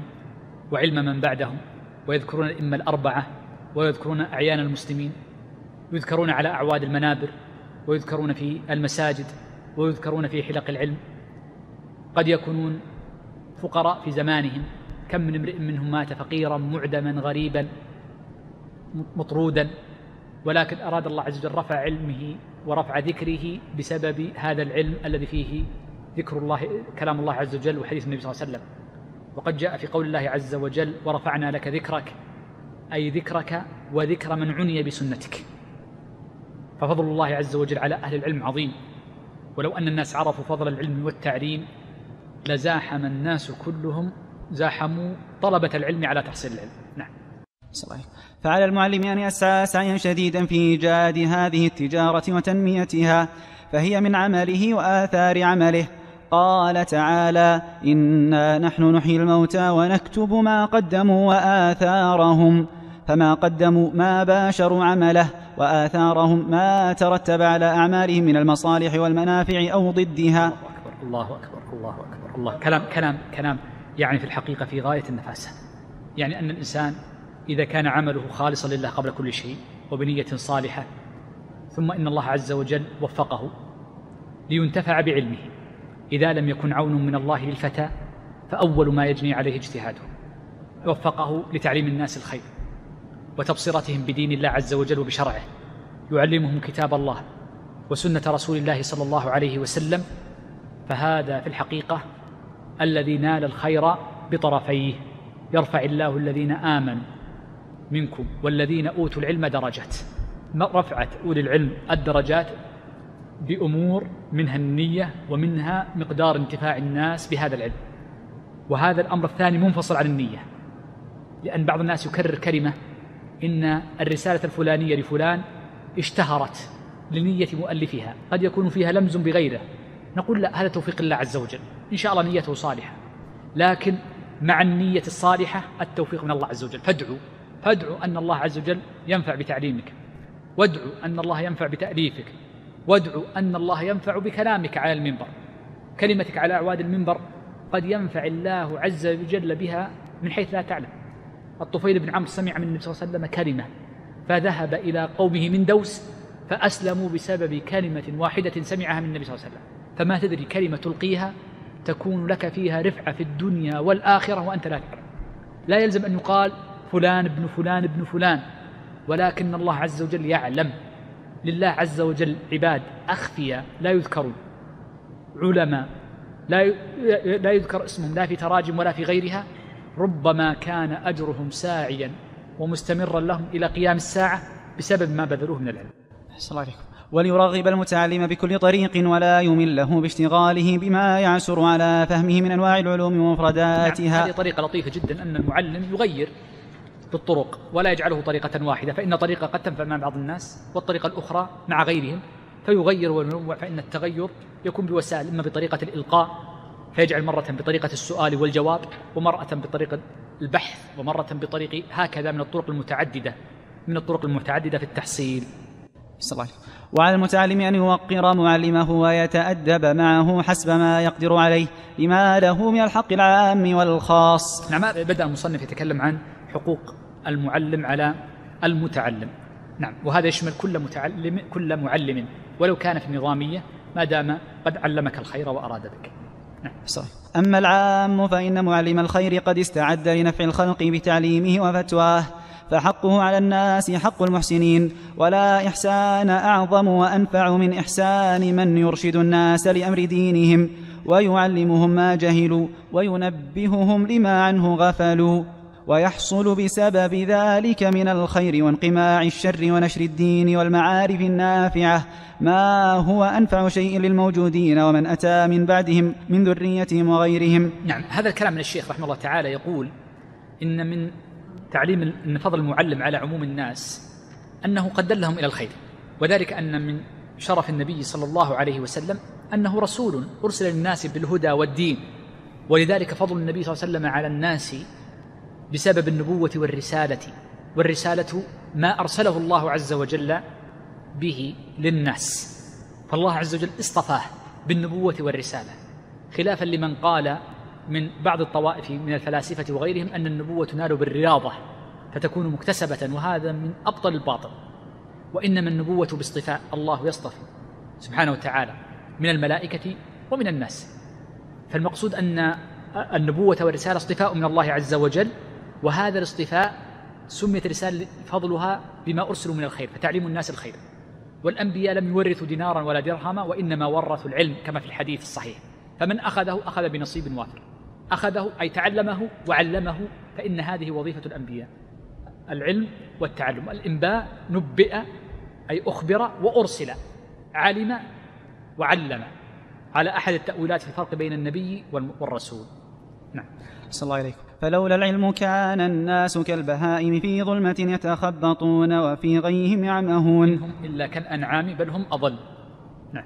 فهو النور الذي يهتدى به في الظلمات والحياة للقلوب والأرواح والدين والدنيا. لا شك أن, أن الناس نورهم بحسب علمهم بالله وبشرع الله بكلامه وما أوحاه لنبيه صلى الله عليه وسلم من السنة وما فهم منها. نعم. والبلد الذي ليس فيه من يبين للناس أمر دينهم ويرشدهم لما ينتابهم مما هم مضطرون إليه لا خير في الإقامة فيه. فمن كان هذا إحسانه وأثره كيف لا يجب على كل مسلم محبته وتوقيره والقيام بحقوقه؟ نعم. قول المصنف والبلد الذي ليس فيه من يبين للناس أمر دينهم ويرشدهم لما ينتابهم مما هم مضطرون إليه لا خير في الإقامة فيه. هذا كلام مسبوق إليه. وممن قاله جماعة من السلف رحمهم الله تعالى من طبقة تابع التابعين ومن بعدهم وانتشر بينهم هذا الكلام. فالإنسان يحرص على أن يكون في بلد فيه مفتي ولذلك لما تكلم الأصوليون عن المفتي إذا كان في بلد فيه غيره قالوا جاز له رد الفتوى وعدم الإفتاء اختيارا يجوز له أن لا يفتي ما دام في البلد غيره. قالوا وإن كان في البلد ليس فيها إلا فقيه واحد تعين عليه الإفتاء إن اجتهد وظهر له الحكم. قالوا وإن لم يكن في البلد فقيه فإنه يكره الإقامة فيه. يلزمك أن تكون في بلد فيه فقيه. يعلمك دينك ويبين لك الأحكام عند الحاجة. ومن نعم الله عز وجل على الناس وسائل التواصل الآن. فإنك ولو كنت في وسط الصحراء ولا صاحب لك ولا جليس يمكنك أن تسأل من يبين لك بعض أحكام دينك لكن لا يغنيك عن رؤية الفقيه لأن الفقيه قد يرى خطأ تظنه صوابا فيصححه ويتكلم من غير سؤال فتنتفع بكلامه المبتدأ الذي لا يكون ناشئا عن سؤال. فتنتفع بالابتداء ما كنت تظنه صوابا. إضافة لما يتعلق بهديه ودل فيكون الانتفاع به أكبر. نعم. صلى الله عليه وأما حقه الخاص على المتعلم فلما بذله من تعليمه والحرص على ما يرشده ويوصله إلى أعلى الدرجات. نعم بدأ يتكلم في الحق الخاص المتعلق بالمتعلم ليس على عموم الناس. قال لأجل أنه بذله في تعليمه وحرص على إرشاده وتعليمه ما يوصله إلى أعلى الدرجات وهو الفقه في الدين. نعم. فليس نفع الآباء والأمهات نظيرا لنفع المعلمين والمربين للناس. طيب يقول الشيخ فليس نفع الآباء والأمهات نظيرا لنفع المعلمين والمربين للناس بصغار العلم قبل كباره بل قد يكون مستوين في الدرجة. نعم الباذلين. أحسن الله. بصغار العلم قبل كبار الباذلين نفائس أوقاتهم وصفوة أفكارهم في تفهيم المسترشدين بكل طريق ووسيلة يقدرون عليها. نعم لا شك في ذلك. وإذا نظرت في في حال بعض التلاميذ مع شيخهم مثل ابن القيم مع شيخه تقي الدين ابن تيمية وما تكلم عنه مما انتفع به وكيف أن الله عز وجل نجاه من براثن الجهل وأدخله في نور العلم. آه، تعرف ما قاله خبير بحاله وبصير بحال أهل العلم وذو بيان يستطيع أن يعرب عما في نفسه وهو ابن القيم عما ينفع الله عز وجل به التلميذ من شيخه.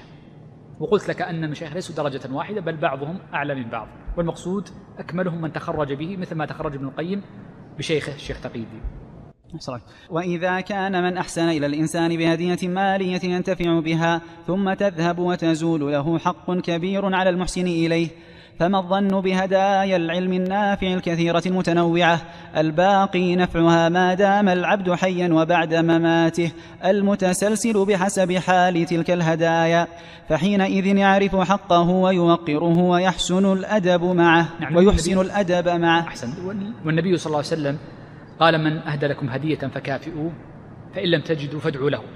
ولذلك فإن الدعاء لمن استفدت منه علما هذا من أقل ما يجزى به.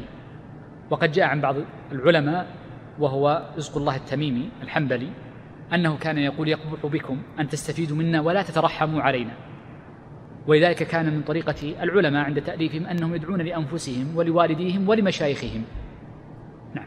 أسأل الله عز وجل أن يرحم مشايخنا ويرحمهم. برحمته ويدخلنا معهم في جنة النعيم. نعم. ولا يخرج عن إشارته وإرشاده وليجلس بين يديه متأدبا ويظهر غاية حاجته إلى علمه. نعم هذه قوله لا يخرج عن إشارته وإرشاده. ليس كما يدعي الطرقية أن يكون مثل المريد فيكون مثل الميت يقلبه المغسل. لا لا المقصود عن إشارته فيما يتعلق بالعلم وفيما ينفعه. فيخرج الإشارة العامة وأما التفاصيل فإن المعلم لا يدخل أصلا في التفاصيل. ولا يدخل فيما ليس له الدخول فيه وإنما يتكلم في أمور العلم. فأقل الأحوال أن لا يخرج عن إشارته وإرشاده في مجلس العلم. هذا أقل الأحوال وأما خارجه فإنه يفعل ما شاء حيث شاء. قال وليجلس بين يديه متأدبا. فجلوس الأدب في حلق العلم مهمة وهذه تختلف البلدان فيها. فإن بعض البلدان أو بعض ال ال ال ال الأعراف في أزمنة ما كانوا يشترطون هيئة معينة مثل التحلق. ويمنعون غير التحلق. وهذا كان في وقتنا إلى زمن قريب. ويمنعون الطالب أن يكون بعيدا. لكن الآن لما جاءت هذه اللاقطات لاقط فأصبحت أغلب الدروس على هيئة صفوف فهذه من طرق الجلوس. في بعض البلدان وهي بلدان علم قد يكون الطلبة حاضرين للدرس وهم مضطجعون على جنوبهم. فما دام العرف قد جرى بذلك فإنه لا سوء أدب في ذلك. ولكن إن كان العرف على خلاف ذلك فليس هذا من الأدب في حضور مجالس العلم. فليس الاضطجاع أو النوم في أثناء الدرس من الأدب. بل إن المعلم إذا رأى مثل هذه الهيئة ربما انقبضت نفسه فلم يستطع أن يبذل كل ما في نفسه. ولذلك إذا أردت أن تستفيد من شيخك أكثر سواء في الدراسة النظامية أو في غيرها فإنك أظهر له الاهتمام. أظهر له الاهتمام.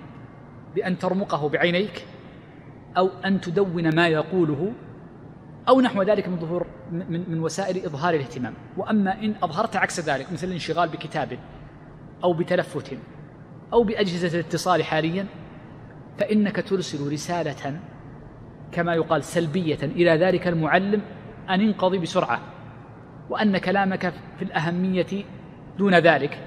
وأنه لا تظهر كل ما عندك وإنما اقتصر على أقل الواجب. نعم. صلى الله ويدعو له حاضرا وغائبا. نعم ذكرناها قبل قليل مناسبة. صح. وإذا أتحفه بفائدة وتوضيح لعلم فلا يظهر له أي لعلم يعلمه قبل ذلك. صح. فلا يظهر له أنه قد عرفه قبل ذلك. وإن كان عارفا له. أنه قال إن الرجل يحدثني بالحديث أعلمه ولكن لا أظهر له ذلك. هذا أدب مع كل المسلمين وخاصة المعلم. إذا قال لك مسألة أظهر له أن هذه المعلومة جديدة يظهر لك ما لم تعلمه وأما إذا أظهرت له أنك تعرف هذا المعلومة يقول خلاص اذا ليش تتكلم؟ هذا الذي عندك يكفي. نعم. صحيح. بل يصغي إليه إصغاء المتطلب بشدة إلى الفائدة هذا فيما يعرفه فكيف بما لا يعرفه نعم هذا فيما يعرفه فكيف بما لا يعرفه فيجب عليه أن يكون أشد اصغاء وأكثر ادبا وحرصا على إظهار الاستفادة ولهذا كان هذا الأدب مستحسنا مع كل مع مستحسنا كل مع كل أحد كما قال عطاء. إن الرجل ليحدثني بالحديث أعلمه قبل أن يولد. ولكن من الأدب كأنه أول مرة يسمع هذا الخبر. نعم. ولهذا كان هذا الأدب مستحسنا مع كل أحد في العلوم والمخاطبات في الأمور الدينية والدنيوية. الله أكبر. صدق رحمه الله تعالى. وإذا أخطأ المعلم في شيء فلينبهه برفق ولطف بحسب المقام بحسب المقام. نعم يقول إن المعلم إذا أخطأ فالنصيحة له نصيحة في الدين ولا شك. هذا الخطأ أحيانا قد يكون خطأ دنيويا مثل أن تسقط عباءة مثلا آه، أن يظهر آه، شيء من جسده لا يرغب بإظهاره كينحسر تنحسر العمامة عن رأسه. بعض الأعراف أن انحسار العمامة عن الرأس قد يكون يعني يعني ليس أدبا آه، ظهور يعني جزء من جسده وهكذا الأشياء هذه أدب أو أمر شرعي مثل أن يكون هناك فاته شيء معين. فيقول المصنف إن إن المعلم إذا أخطأ في شيء فلينبهه برفق برفق يعني بعدم غلظة ولطف بحسب المقام بحسب المقام الذي هو فيه وكل شخص يعرف المقام الذي يناسب ذلك إما بعده أو أثناءه أو بأي وسيلة تناسب ذلك. نعم. أحسن الله عليك قال رحمه الله ولا يقول له أخطأت أو ليس الأمر كما تقول. نعم. إما يعني الوسائل كثيرة جدا ولكن هذه الطريقة تجعل المعلم ينقبض بعض الشيء. بل يأتي بعبارة لطيفة يدرك بها المعلم خطأه من دون أن يتشوش قلبه. أحسنت. يعني بأي طريقة؟ يقول نقرأ من الكتاب وهكذا. فإن هذا من الحقوق يعني اللازمة. لا تظهر للناس أنك صوبت وإنما صوب من غير أن يعلم الآخرون. نعم. صلى الله عليه فإن هذا من الحقوق اللازمة وهو أدعى للوصول إلى الصواب. فإن الرد الذي يصحبه سوء الأدب وانزعاج القلب يمنع من تصور الصواب ومن قصده. نعم فقد يعني لا يتصور الفهم جيدا وقد يتعصب لرأيه لأن النفس البشرية لها حظها. أحسن وكما أن هذا لازم على المتعلم فعلى المعلم إذا أخطأ أن يرجع إلى الحق. ولا يمنعه صح. ولا يمنعه قول قاله ثم رأى الحق في خلافه من مراجعة الحق والرجوع إليه. فإن هذا علامة الإنصاف والتواضع للحق فالواجب اتباع الصواب سواء جاء على يد الصغير أو الكبير. كلام كلام جميل جدا. الإنسان يجب عليه الرجوع للحق ويجب على الإنسان أن يعود نفسه أن تكون رجاعة للحق. كثير من الناس يرى أن من العيب أن يرد عليه خطأه وأن يصوب. كفى بالمرء نبلا أن تعد معايبه ما ما من أحد إلا ويخطئ ويصيب إلا محمد صلى الله عليه وسلم. بل إن علماء الأمة مختلفون. هل يقع منه اجتهاد أم لا في غير الأمور الدنيوية؟ وإذا وقع منه اجتهاد هل يخطئ أم لا؟ ومن قال بخطأ النبي صلى الله عليه وسلم في اجتهاده فإنهم مجمعون على أنه إذا أخطأ فلا بد أن يصوب بوحي فالنبي صلى الله عليه وسلم وإن أخطأ لا بد أن يصوب لا يستمر خطأه. إذا الاتجاهات ثلاثة أنه لا اجتهاد منه صلى الله عليه وسلم أنه يجتهد وإن اجتهد أصاب مطلقا وهذا يعني قال به جماعة حتى قال الجماعة مثل ابن عبد بن اللحام وغيره قال والحق أن اجتهاده لا يخطئ. وبعضهم قال وهو مشهور قول أكثر أصحاب أحمد أنه قد يخطئ في اجتهاده لكنه بإجماع يصو يعني لا لا يقر على خطئه. هذا في النبي صلى الله عليه وسلم ومقامه علي. فمن باب أولى يجب على الإنسان أن أن يعني يعلم أن قوله يطرأ عليه الخطأ فلا بد أن يرجع وأن يكون رجاعا للحق. نعم. صلى الله عليكم. ومن نعمة الله على المعلمين قبل أن ننتقل الجملة بعدها يعني هنا أنهى المصنف ما يتعلق ربما فيما يتعلق بحق المعلم على المتعلم وهو تلميذه. وبين الشيخ رحمه الله تعالى أن الحق المعلم شبيه بحق الأب.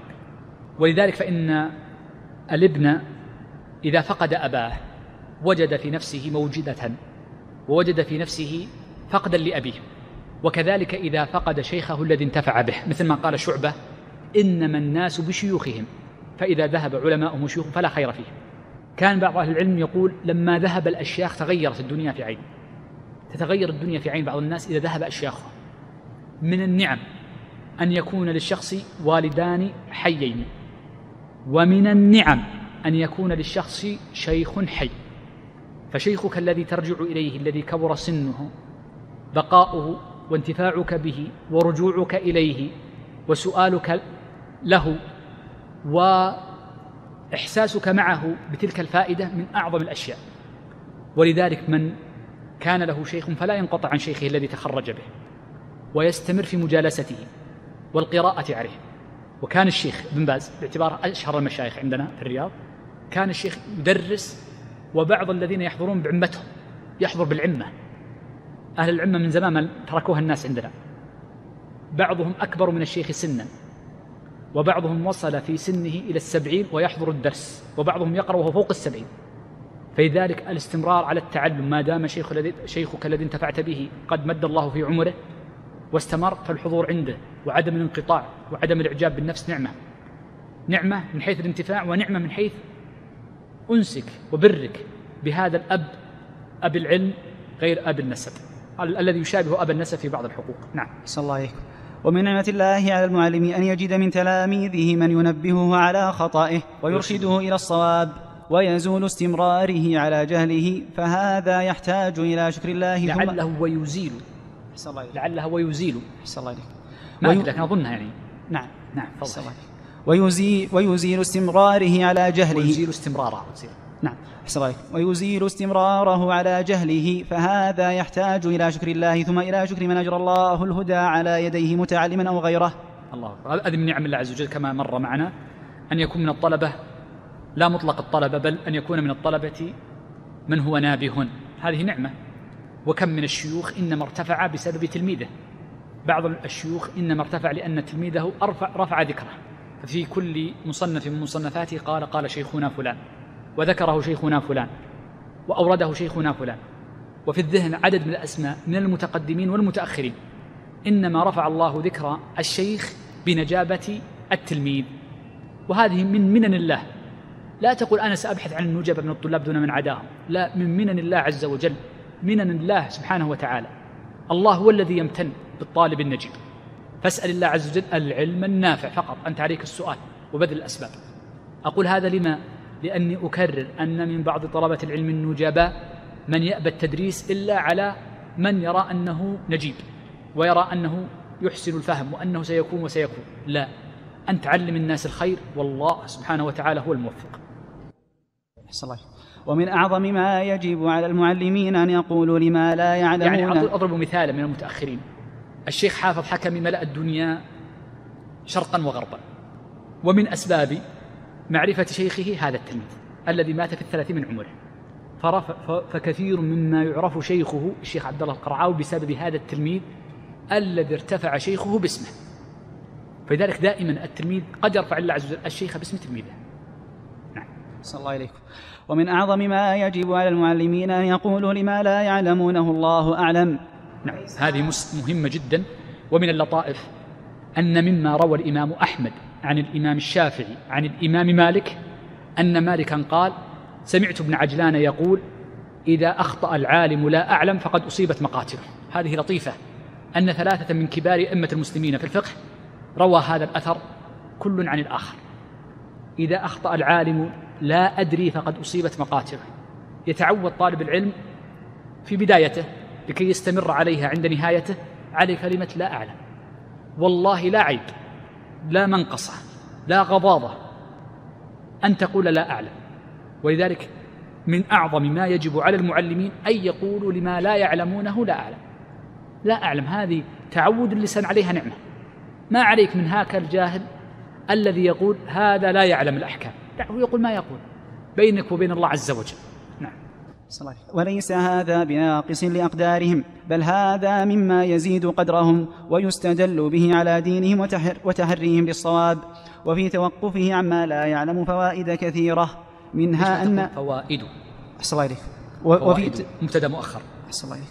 وفي توقفه عما لا يعلم فوائد كثيرة منها أن هذا هو الواجب عليه. نعم يجب عليه أن يكل ما لا يعلمه وأن لا يتكلم فيما لا يعلمه وأن يكل علمه إلى الجبار جل وعلا. نعم.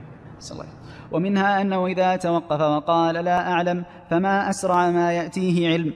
ذلك إما من مراجعته أو مراجعة غيره فإن المتعلم إذا رأى معلمه توقف جد واجتهد في تحصيل علمها وإتحاف المعلم بها فما أحسن هذا الأثر؟ هذا هذا كلام كلام من أجمل الكلام. يعني يقول الشيخ وأظن هذا الكلام الذي خرج من الشيخ خرج عن تجربة. فإنه معلم ومتعلم كذلك. يقول الشيخ إن, إن, إن المسؤول إذا توقف وقال لا أعلم معلما أو مفتيا. قال فما أسرع أن يأتيه علم ذلك. إما من مراجعته هو يراجع بنفسه وإما أن يكون هذا السائل قد يراجع غيره من أهل العلم ويبحث فحينئذ تصل إليه المعلومة. وهذه الكلمة ما ما ما تكلم بها المؤلف إلا عن تجربة. هذه كلمة في غاية الصدق خرجت من قلب الشيخ تماما. ولا أعلم أن أحدا سبق الشيخ لهذا الشيء إلا أن يكون وقف على ما لم وهو لا شك أنه واسع الاطلاع نعم صلى الله ومنها أنه إذا توقف عما لا يعرف كان دليل على ثقته وإتقانه فيما يجزم به من المسائل.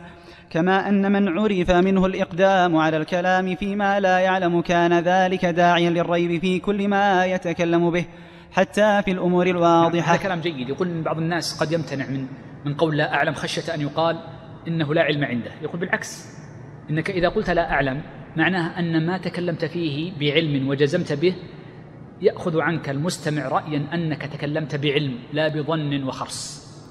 بالعكس هذا أقوى وأوقع في لكلامك في نفوس الناس من غيره.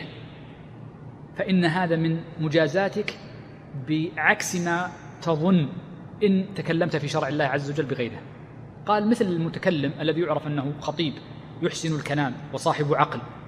فهذا لا يتكلم إلا في الأماكن التي يحسن فيها الكلام ويسكت في المواضع التي يحسن فيها السكوت. نعم.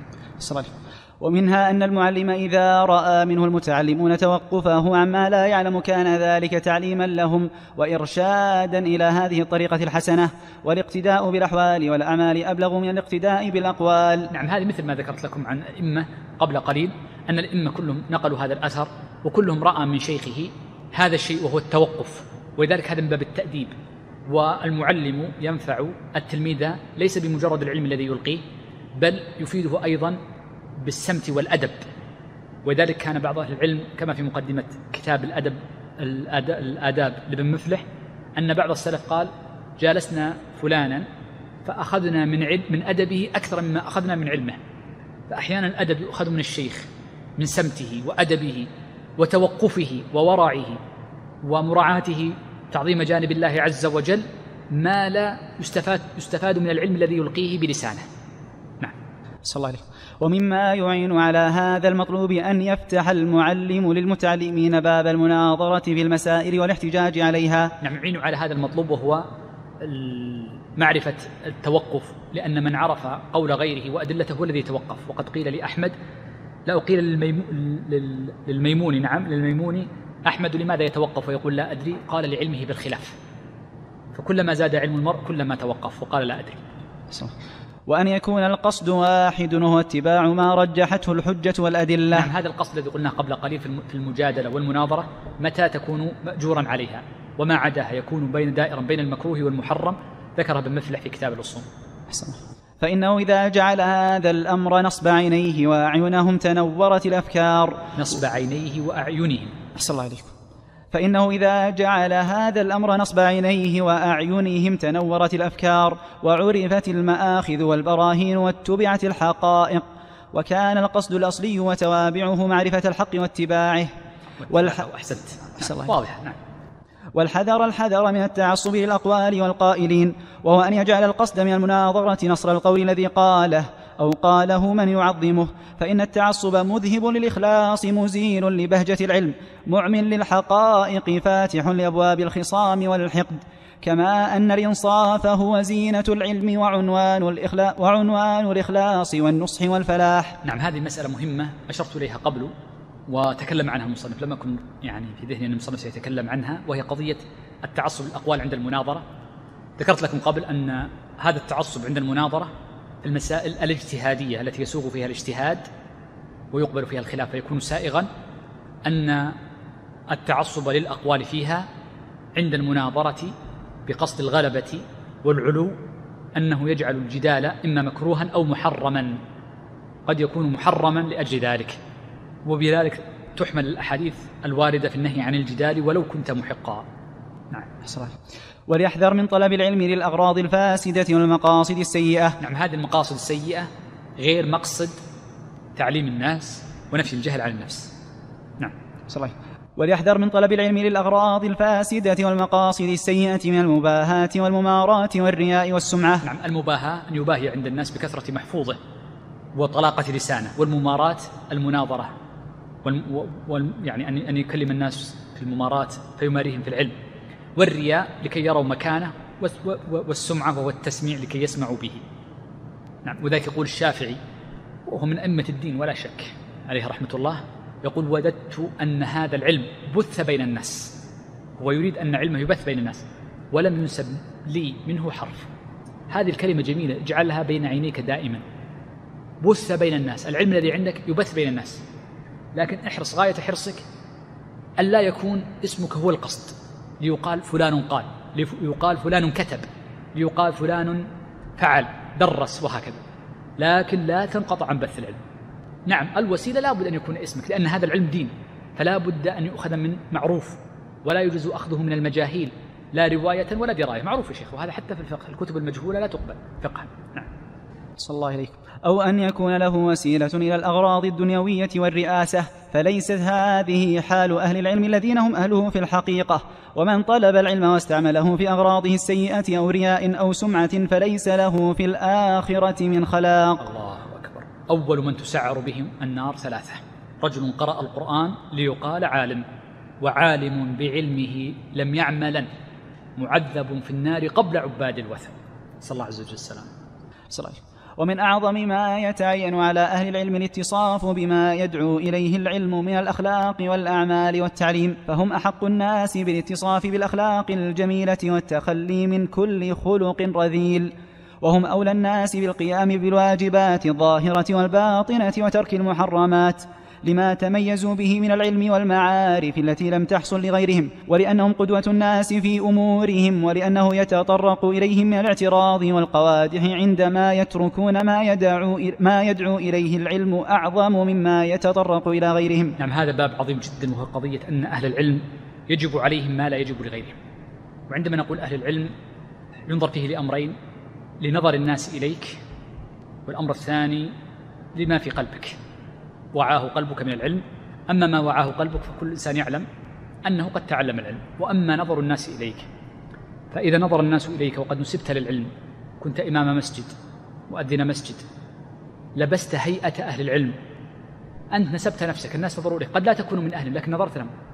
يجب عليك أن تتقي الله عز وجل فإن الناس ينظر لأهل العلم ما لا يرى لغيرهم. ما لا يرون لغيرهم. الصغائر عندهم كبائر عند غيرهم. اللفظة التي تقولها تحسب عليك ما لا يحسب على غيرك.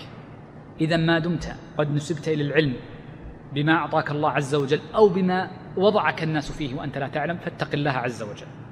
اتق الله عز وجل. فيجب أن تأتي ليس بالواجبات بل بكثير من المندوبات. ولذلك عمر رضي الله عنه لما دخل عثمان رضي الله عنه المسجد متأخرا في أثناء الخطبة وعثمان من كبار الصحابة بل هو أكبرهم بعد أبي بكر وعمر. أنكر عليه تأخره وأنكر عليه ثانيا عدم اغتساله للجمعة حيث فوت مندوبين فوت مندوبين. ولذلك أهل العلم يندب لهم ما لا يندب لغيرهم. والنبي صلى الله عليه وسلم قال ليلني ليلني منكم أولو الأحلام والنهى. أي في الصلاة. فالأولى والأحرى والأجدر بأن يكونوا أقرب للإمام هم أهل العلم. هم أهل العلم والنهى أي العقل. والعقل إنما هو ملازم للعلم. نعم. وأيضا فكان السلف يستعينون بالعمل على العلم فإن عمل به استقر ودام ونمى وكثرت بركته وإن ترك العمل به ذهب أو عدمت بركته فروح العلم وحياته وقوامه إنما هو بالقيام به عملا وتخلقا وتعليما ونصحا ولا حول ولا قوة إلا بالله. يعني كلام الشيخ لا مزيد عليه لا يمكن أن يزاد على كلام الشيخ شيء. ولكن سأقف مع ختم الشيخ بقوله ولا حول ولا قوة إلا بالله. هذه اللفظة من ألفاظ الاستعانة. يستعين بها العبد على الأمر. فكأن المصنف لما قال هذه الكلمة قال ولا يمكن لمن نسب للعلم أن يكون كذلك إلا بحول وقوة من الله عز وجل. وذلك دائما استعن بالله. اللهم أعني على ذكرك وشكرك وحسن عبادتك. هذا يدعو به محمد صلى الله عليه وسلم. فأنت دائما استعن بالله. اسأل الله عز وجل الإعانة في العلم الإعانة على العمل صلاح العمل وهكذا. صحيح. وينبغي سلوك الطريق النافع عند البحث تعلما وتعليما. فإذا شرع المعلم في مسألة وضحها وأوصلها إلى إفهام المتعلمين بكل ما يقدر عليه من التعبير وضرب الأمثال والتصوير والتحرير. ثم لا ينتقل منها إلى غيرها قبل تحققها وتفهيمها للمتعلمين ولا يدع المتعلمين يخرجون من الموضوع الذي الذي لم يتم تقريره إلى موضوع آخر حتى يحكموه ويفهموه. فإن الخروج من الموضوع إلى غيره قبل الانتهاء منه يشوش الذهن ويحرم الفائدة ويخلط المسائل بعضها ببعض. نعم هذا كلام جميل جدا ينصح فيه طريقة المعلم في طريقة تعليمه للطلاب. نعم. صح. وينبغي تعاهد محفوظات المتعلمين ومعلوماتهم بالإعادة والامتحان والحث على المذاكرة والمراجعة وتكرار الدرس. فإن التعلم بمنزلة الغرس للأشجار والدرس والمذاكرة والإعادة بمنزلة السقي لها وإزالة الأشياء المضرة لتنمو وتزداد على الدوام. نعم. يقول الشيخ يجب معاهدة المحفوظات. المحفوظ دائما ينسى ولا بد من معاهدته لكن أريدك أن, أن, أن, تفرق بين حفظك لكلام الله وكلام رسوله وكلام غيره من كلام البشر. فأما كلام الله عز وجل فإنه لا يجوز فيه الزيادة ولا النقصان حتى في حركة. وأما كلام رسول الله صلى الله عليه وسلم فإن الكمال الإتيان به على وجهه ويجوز روايته بالمعنى. ولذلك فإن حفظ كلام الله وكلام رسوله صلى الله عليه وسلم ليس كحفظ غيره من المتون. أما غيره من المتون فإنك إن أخطأت في عبارة أو بدلت جملة بجملة فلا ضير في ذلك ولا نقص. ولا يلزم أن تحفظه حفظ القرآن ولا أن تراجعه مراجعة القرآن وإنما حفظ المتون لأجل الاستظهار فحسب. ولذلك العلماء رحمهم الله تعالى يستحبون من المتون ما كان مليئا بالنصوص. فعلى سبيل المثال كتاب التوحيد والواسطية فإنها لا تكاد لا يكاد يوجد فيها إلا نص. وأما كتب الفقه فمن أحسن المتون الفقهية التي ملئت بالنصوص وأنا أقول المتون ولا أقول المطولات وهو كتاب منهج السالكين للمؤلف. فإن كتاب المؤلف منهج السالكين ذكر محققه أن فيه نحوا من أربعمائة آية وحديث على صغر حجمه. فمن حفظ هذا المتن فقد حفظ نحو من أربعمائة آية وحديث. وهذا فضل وفق الله عز وجل مؤلفه لأجل ذلك. فالمتون التي فيها أحاديث وآيات وأحاديث هذه أجود في الحفظ وأنفع. وأما ما عدا من المتون فيهم أنك تستظهر المتن. وقد كان طريقة بعض أهل العلم أن يحفظ المنظوم لأن المنظوم يعني استرجاعه سهل وبعضه يذكر بعضا. بخلاف المنثور فإنك قد تنسى ففائدة المنظوم الاسترجاع. وأما المنثور فهو أدق. حفظ المنثور أدق. وحفظ المنظوم أسهل من جهة الحفظ لا من جهة الفهم ومن جهة سهولة ثبات في الذهن عند الاسترجاع. نعم. صحيح. وكما أن على المتعلم توقير معلمه والأدب معه. فكذلك أقرانه في التعلم معه عليه توقيرهم واحترامهم. توقيرهم. أحسن عليكم عليه توقيرهم. فكذلك أقرانه في التعلم معه عليه توقيرهم واحترامهم. فالصحبة في طلب العلم تجمع حقوقا كثيرة لأن لهم حق الأخوة والصحبة وحق الاحترام لما قاموا به من الاشتغال بما ينفعهم وينفع الناس وهو الانتماء إلى معلمهم وأنهم بمنزلة أولاده وحق لنفع بعضهم بعضا. نعم هذا الكلام في الصحبة قد يكون هذا الحق بين الصحبة في أثناء التعلم وقد يكون بعده. وهذه الرسالة أرسلها الشيخ لبعض تلاميذه الذين قرأوا عليه ثم تغربوا ونأوا عنه وانتقلوا إلى مكة. فهذه الرسالة فقال يعني أن هؤلاء الصحبة الذين كنت تجالسهم في حداثة سنك وشرخ شبابك واشتركت معهم في معلم واحد واشتركت معهم في تحصيل العلم يجب أن تستمر صحبتك لهم. ومن أطيب الصحبة الصحبة التي كانت على خير وأفضل الخير على الإطلاق العلم. أفضل الصحبة صحبة العلم. الذي اشتركت معه في حلقة تحفظون القرآن أو في حلقة حفظ سنة وتعلمها أو في حلقة فقه أو غير ذلك هذه الصحبة إنما اجتمعتم في علم وإنما التقيتم على خير. ليس بينكم دينار ولا درهم وليس بينكم وشاجة رحم وإنما هو جمع بينكم العلم فأصبح هذا الرحم بين هؤلاء. فإذا اجتمعوا ولو بعد عشرات السنين فإن اجتماعه بهم تذكر لما نسوه من علم وتذكر لما يحن عليه المرء بطبعه لما كان عليه في أول حياته كما ذكر ذلك أبو حيان التوحيد في كتابه المؤانسة أعرف في تهذيب كتاب تهذيب الأخلاق. وأمر ثالث أن اجتماعك بأصحابك عند شيخك فيه ذكر لشيخك. وهذا ملاحظ. إذا اجتمعت عند تلاميذ شيخك الفلاني رحم الله الشيخ تذكرون درسه؟ الله لما كان في الحرم كان يقول كذا وكذا وكذا. فأحيانا عندما تذكر الشيخ في درسه وماذا كان يقول؟ بين فائدة العلمية ونكتة ومقولة وشيء أنت تحيث ذكره وترحم عليه. ولذلك جاء في قول النبي صلى الله عليه وسلم إذا مات ابن آدم انقطع عمله إلا من ثلاث ومنها ولد صالح يدعو له. لما خص الولد؟ قالوا فيها نكتة أن الولد إذا رؤي دعي للأب فإذا رآك من يعرف أباك فلان رحم الله أباك لأنه يعرف أباك وهو صاحب لك. كذلك أبوة العلم إذا رؤي تلميذ ذلك الشيخ ممن عرفته عند ذلك الشيخ فأول حديث بينكم عن الشيخ وأعرف من كان شيخه قد توفي في التسعينات الهجرية يعني قبل أربعين سنة. إذا اجتمعوا الآن يذكرون اسم الشيخ ويذكرون أخباره ويترحمون عليه ونفس الكلام الذي يقال اليوم بعد لقائهم بعد شهر يقال نفس الخبر ويذكر الشيخ ويترحم عليه. نفس القصة تتكرر جلست معهم أربع مرات وكرروا قصة سمعتها عشر مرات وأربع مرات لكن يذكرونه ويدعون له. ولذلك هذا كلام الشيخ كلام لتلاميذه قلت لك الشيخ هذه الرسالة كتبها من قلب لمن يحب. نعم. ولهذا ينبغي ألا يدع ممكنا يقدر عليه من نفع من يقدر على نفعه منه من تعليمه ما يجهل والبحث معه للتعاون على الخير وإرشاده لما فيه نفعه. وينبغي أن يكون اجتماعهم في كل وقت غنيمة يتعلم فيه القاصر ممن هو أعلى منه ويعلم العارف غير العارف ويتطارحون المسائل النافعة وليجعلوا همهم مقصورا على ما هم بصدده. وليحذروا من الاشتغال بالناس والتفتيش عن أحوالهم والعيب لهم فإنه إثم حاضر. نعم هذا كلام لو لو جعل لنا في أول حديثنا لأظن جلسنا العصر في شرحه وهو كيف يكون مجالس طلبة العلم؟ هذا موضوع مهم. ورحم الله الشيخ فقد نصح. ولكن الوقت أوشك ما بقي إلا ربع ساعة الأذان. ولكن سأقف مع كلمة وهي قول الشيخ رحمه الله تعالى وينبغي أن يكون اجتماعهم في كل وقت غنيمة يتعلم فيه القاصر ممن هو أعلى منه ويعلم العارف غير العارف أي العلم النسبي قد أعلم ما لا تعلم وتعلم ما لا أعلم. ويتطارحون المسائل النافعة ويجعل همهم مقصورا على ما هم بصدده وليحذروا من الاشتغال بالناس والتفتيش عن أحوالهم والعيب لهم فإنه إثم حاضر. طالب العلم ليس عليه من الناس لا أفرادهم ولا جماعاتهم فإنه يجب أن ينشغل بالعلم.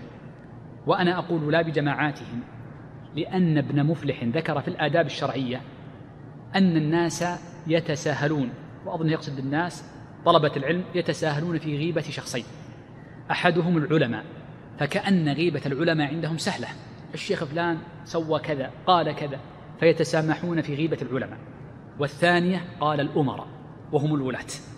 فكثير من الناس ديدنه في مجالسه الحديث في الولاة. قال فلان فعل فلان شال فلان نزل فلان وليس كلامه بنافع للناس شيئا. بل إنك تؤثم على هذا الوقيعة في هاتين الطائفتين كما تؤثم في الوقيعة في غيرهم من الناس. وإن كان طلبة العلم يتفكهون في مجالسهم في الوقيعة في هذين الاثنين. وهذا الكلام ليس كلام من أهل عصرنا. قلت لك ابن, ابن, ابن مفلح وهم طلاب الشيخ تقيد نقله عمن قبله. ولو راجعت الآداب لوجدت النص أو النقل بنصه أدق مما ذكرت لك.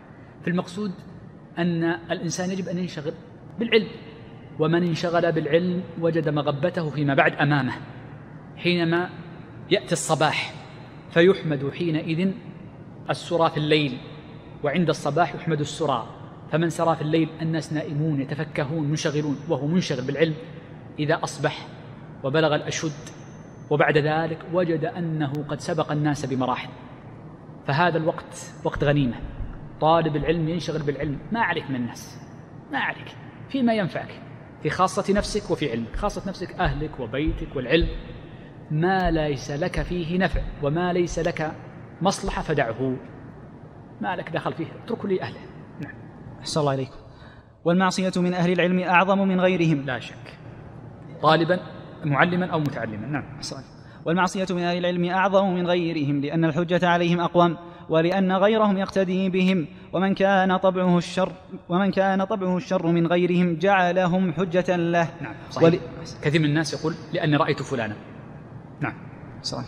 ولأن الاشتغال بالناس يضيع المصالح النافعة والوقت النفيس ويذهب بهجة العلم ونوره. نعم صدقت. واعلم أن القناعة باليسير من الرزق والاقتصاد في أمر, المع... في أمر المعيشة مطلوب من كل أحد لا سيما المشتغلون بالعلم فإنه كالمتعين عليهم. لأن العلم وظيفة العمر كله أو معظمه. فمتى زاحمته الأشغال الدنيوية والضروريات حصل النقص بسبب ذلك. والاقتصاد والقناعة من أكبر العوامل لخصر الأشغال الدنيوية وإقبال المتعلم على ما هو بصدده. نعم كلام الشيخ هنا في قضية غنى غنى غنى طالب العلم، طالب العلم لابد أن يكون له مال. وكلام أهل العلم كسفيان وغيره في قضية أن طالب العلم يجب أن يكون له حرفة أو أو أو مال يتكفف به عن الناس مهم جدا.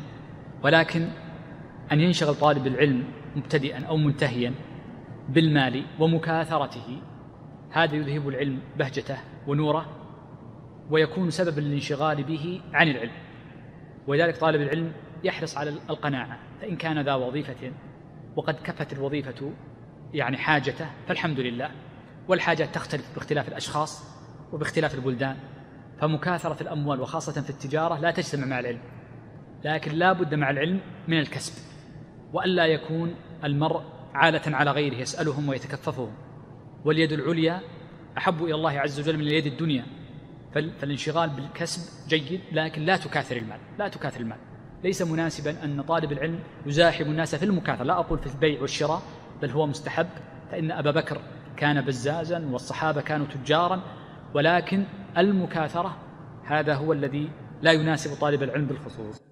أحسن الله إليكم. قال رحمه الله ومن آداب العالم والمتعلم النصح وبث العلوم النافعة بحسب الإمكان حتى لو تعلم الإنسان مسألة وبث ذلك من بركة العلم. ولأن ثمرات العلم أن يأخذه الناس عنك فمن شح بعلمه مات علمه بموته وربما نسيه وهو حي. كما أن من بث علمه كان له حياة ثانية وحفظا لما علمه وجازاه الله بحسب بحسب عمله. نعم تقدم الإشارة لهذا المعنى. نعم. ومن أهم ما يتعين السعي في جمع كلمتهم وتأليف القلوب على ذلك وحسم أسباب الشر والعداوة والبغضاء بينهم وأن يجعلوا هذا الأمر نصب أعينهم وغاية يسعون إليها بكل طريق لأن المطلوب واحد والقصد واحد والمصلحة مشتركة فيحققون هذا الأمر بمحبة كل من كان من أهل العلم ومن له. هذه نصيحة لطلبة العلم أن يجتمعوا وأن لا يفترقوا ويتركوا حظوظ الدنيا عنهم لأن اجتماع طلبة العلم بالخصوص سبب الانتفاع لأن إذا كان بينهم آه، غضاضة وبينهم نزاع لم ينتفع أحدهم من الآخر. ولربما يعني كان سببا لانقباض بعضهم من بعض. وقد جبلت النفوس على على على المشاحة أولا وعلى أن من اشترك مع غيره في أمر فإنه ينافسه فيه. وقد جاء عن بعض الصحابة رضي الله عنه أنه قال أو ذكر كما نقل ابن عبد البر أن طلبة العلم أشد تحاسدا. من التيوس في زربها فهذا يرد ولكن هذا الورود لا بد من تخفيفه بجمع الكلمة وهضم النفس وإكرام الغير والإحسان إليهم وغير ذلك ما ذكره المصنف. نعم. صحيح. فيحققون هذا الأمر بمحبة كل من كان من أهل العلم ومن له قدم فيه أو اشتغال أو نفع. ولا يدعون الأغراض الفاسدة تملكهم وتمنعهم من هذا المطلوب الجليل. فيحب بعضهم بعضا ويذب بعضهم عن بعض ويبذلون النصيحة لمن رأوه منحرفا عن الآخر ويبرهنون على أن الأمور الجزئية التي تدعو إلى ضد المحبة والائتلاف لا تقد لا تقدم على الأصول الكلية التي فيها جمع الكلمة. يعني الأمور الجزئية المشاكل التي صارت ومنها الاختلاف في بعض المسائل لا تقدم على الأصول الكلية ومنها جمع الكلمة. نعم. حسن الله ولا يدعون أعداء العلم من العوام وغيرهم يتمكنون من إفساد ذات بينهم وتفريق كلمتهم فإن في تحقيق هذا المقصد الجليل والقيام به من المنافع والمصالح ما لا يحصى. ولو لم يكن فيه إلا أن هذا هو الدين الذي حث الشارع عليه بكل طريق وأعظم من يلزمه القيام به أهله ولأنه من أعظم الأدلة على النصح والإخلاص اللذين هما قطب الدين وروحه. وإن بهذا الوصف يتصف العبد بأنه من أهل العلم الذين هم أهله الذين ورد في الكتاب والسنة من مدحهم والثناء عليهم ما لا يتسع هذا الموضع لذكره. وفيه من تكثير العلم وتوسعة الوصول إليه وتنوع طرقه ما هو مشاهد. فإن أهل العلم إذا كانت طريقتهم واحدة تمكن أن يتعلم بعضهم من بعض ويعلم بعضهم بعضا. وإذا كانت كل طائفة منهم منزوية عن الأخرى منحرفة عنها انقطعت الفائدة. وحل محلها ضدها. محلها محلها. أحسن الله عليك. وحل محلها ضدها. وحصل التعصب والبغض والتفتيش عن عيوب الطائفة الأخرى وأغلاطها. وكل هذا مناف للدين والعقل ولما يتعين على أهل العلم ولما كان عليه ولما كان عليه السلف الصالح. فالموفق تجده ناصحا لله بتوحيده والقيام بعبوديته ظاهرا وباطنا. بإخلاص واحتساب وتكميل لها بحسب وسعه ناصحا لكتاب الله بالإيمان بما اشتمل عليه والإقبال على تعلمه وتعلم ما يتعلق به ويتفرع عنه من علوم الشريعة كلها ناصحا لرسوله بالإيمان بكل ما جاء به من أصول الدين وفروعه وتقديم محبته على كل محبة بعد محبة الله تعالى وتحقيق متابعته في شرائع الدين الظاهرة والباطنة ناصحا لأئمة المسلمين من ولاتهم وعلمائهم ورؤسائهم في محبة الخير لهم والسعي في إعانتهم عليه قولا وفعلا ومحبة, ومحبة اجتماع الرعية على طاعتهم وعدم مخالفتهم الضارة. ناصحا لعامة المسلمين يحب لهم ما يحب لنفسه ويكره لهم ما يكره لنفسه ويصدق ظاهره باطنه وأقواله أفعاله ويدعو إلى هذا الأصل القويم والصراط المستقيم. فنسأل الله الكريم أن يرزقنا حبه وحب من يحبه وحب العمل الذي يقربنا إلى حبه ويهب لنا من لدنه رحمة إنه هو الوهاب. صلى الله على محمد وعلى آله وصحبه وسلم. نعم هنا ختم المصنف رحمه الله تعالى الرسالة وفي آخرها كانت النصيحة في الاجتماع بين طلبة العلم وعدم افتراقهم. وربما لا أعلم لكن ربما كان الشيخ اطلع في حال المرسل إليه هذه الرسالة منازعة ومشاقة بينه وبين بعض أقرانه وزملائه الذين كان بينه وبينهم اجتماع في أول حياتهم. والشيخ أطال في هذه الجزئية الأخيرة كما مر معنا فأغنى تفصيله وإسهابه فيها عن الشرح آه، أو عن عن حل ألفاظها لأن كلامه كاف وواف بالغرض. ونكون بذلك بحمد الله عز وجل أنهينا هذه الرسالة اللطيفة والتي فيها من المعاني الحقيقة الجليلة وقد ذكرت لكم في أولها أنها صدرت من قلب الشيخ واضحة لمن أحبه الشيخ. ولعلنا ندعو لأخينا أبو تركي جزاه الله خير لأخينا أبي تركي هو الذي دلنا على هذه الرسالة. وإلا فإني قبل هذا اليوم لأني لم أقرأ هذه الرسالة إلا هذا اليوم كنت غافلا عن هذه الرسالة وميزتها وجودتها. فجزى الله الأخ الفاضل لاختياره هذه الرسالة. وأسأل الله العظيم رب العرش الكريم أن يرزقنا العلم النافع والعمل الصالح وأن يتولانا بهداه وأن يغفر لنا ولوالدينا والمسلمين والمسلمات. وأسأله جل وعلا أن يرحم ضعفنا وأن يجبر كسرنا وأن يجيرنا من خزي الدنيا وعذاب الآخرة. وأسأله جل وعلا أن يرزقنا علما نافعا وقلبا خاشعا وعينا دامعة وأن يعيننا على ذكره وشكره وحسن عبادته. وأسأله جل وعلا أن يرحم والدينا وأن يغفر لهما وأن يتجاوز عنهما خطأهما وزللهما وأن يجمعنا بهما وأشياخنا في جنات النعيم مع النبيين والصديقين والشهداء وحسن أولئك رفيقا. وصلى الله وسلم وبارك على نبينا محمد وعلى آله وصحبه أجمعين. جزى الله فضيلة الشيخ خير الجزاء وجعلنا الله وإياكم ممن يستمعون القول فيتبعون أحسنه. وتقبلوا تحيات إخوانكم في تسجيلات الراية الإسلامية بالرياض هاتف رقم أربعة تسعة واحد واحد تسعة ثمانية خمسة. والسلام عليكم ورحمة الله وبركاته.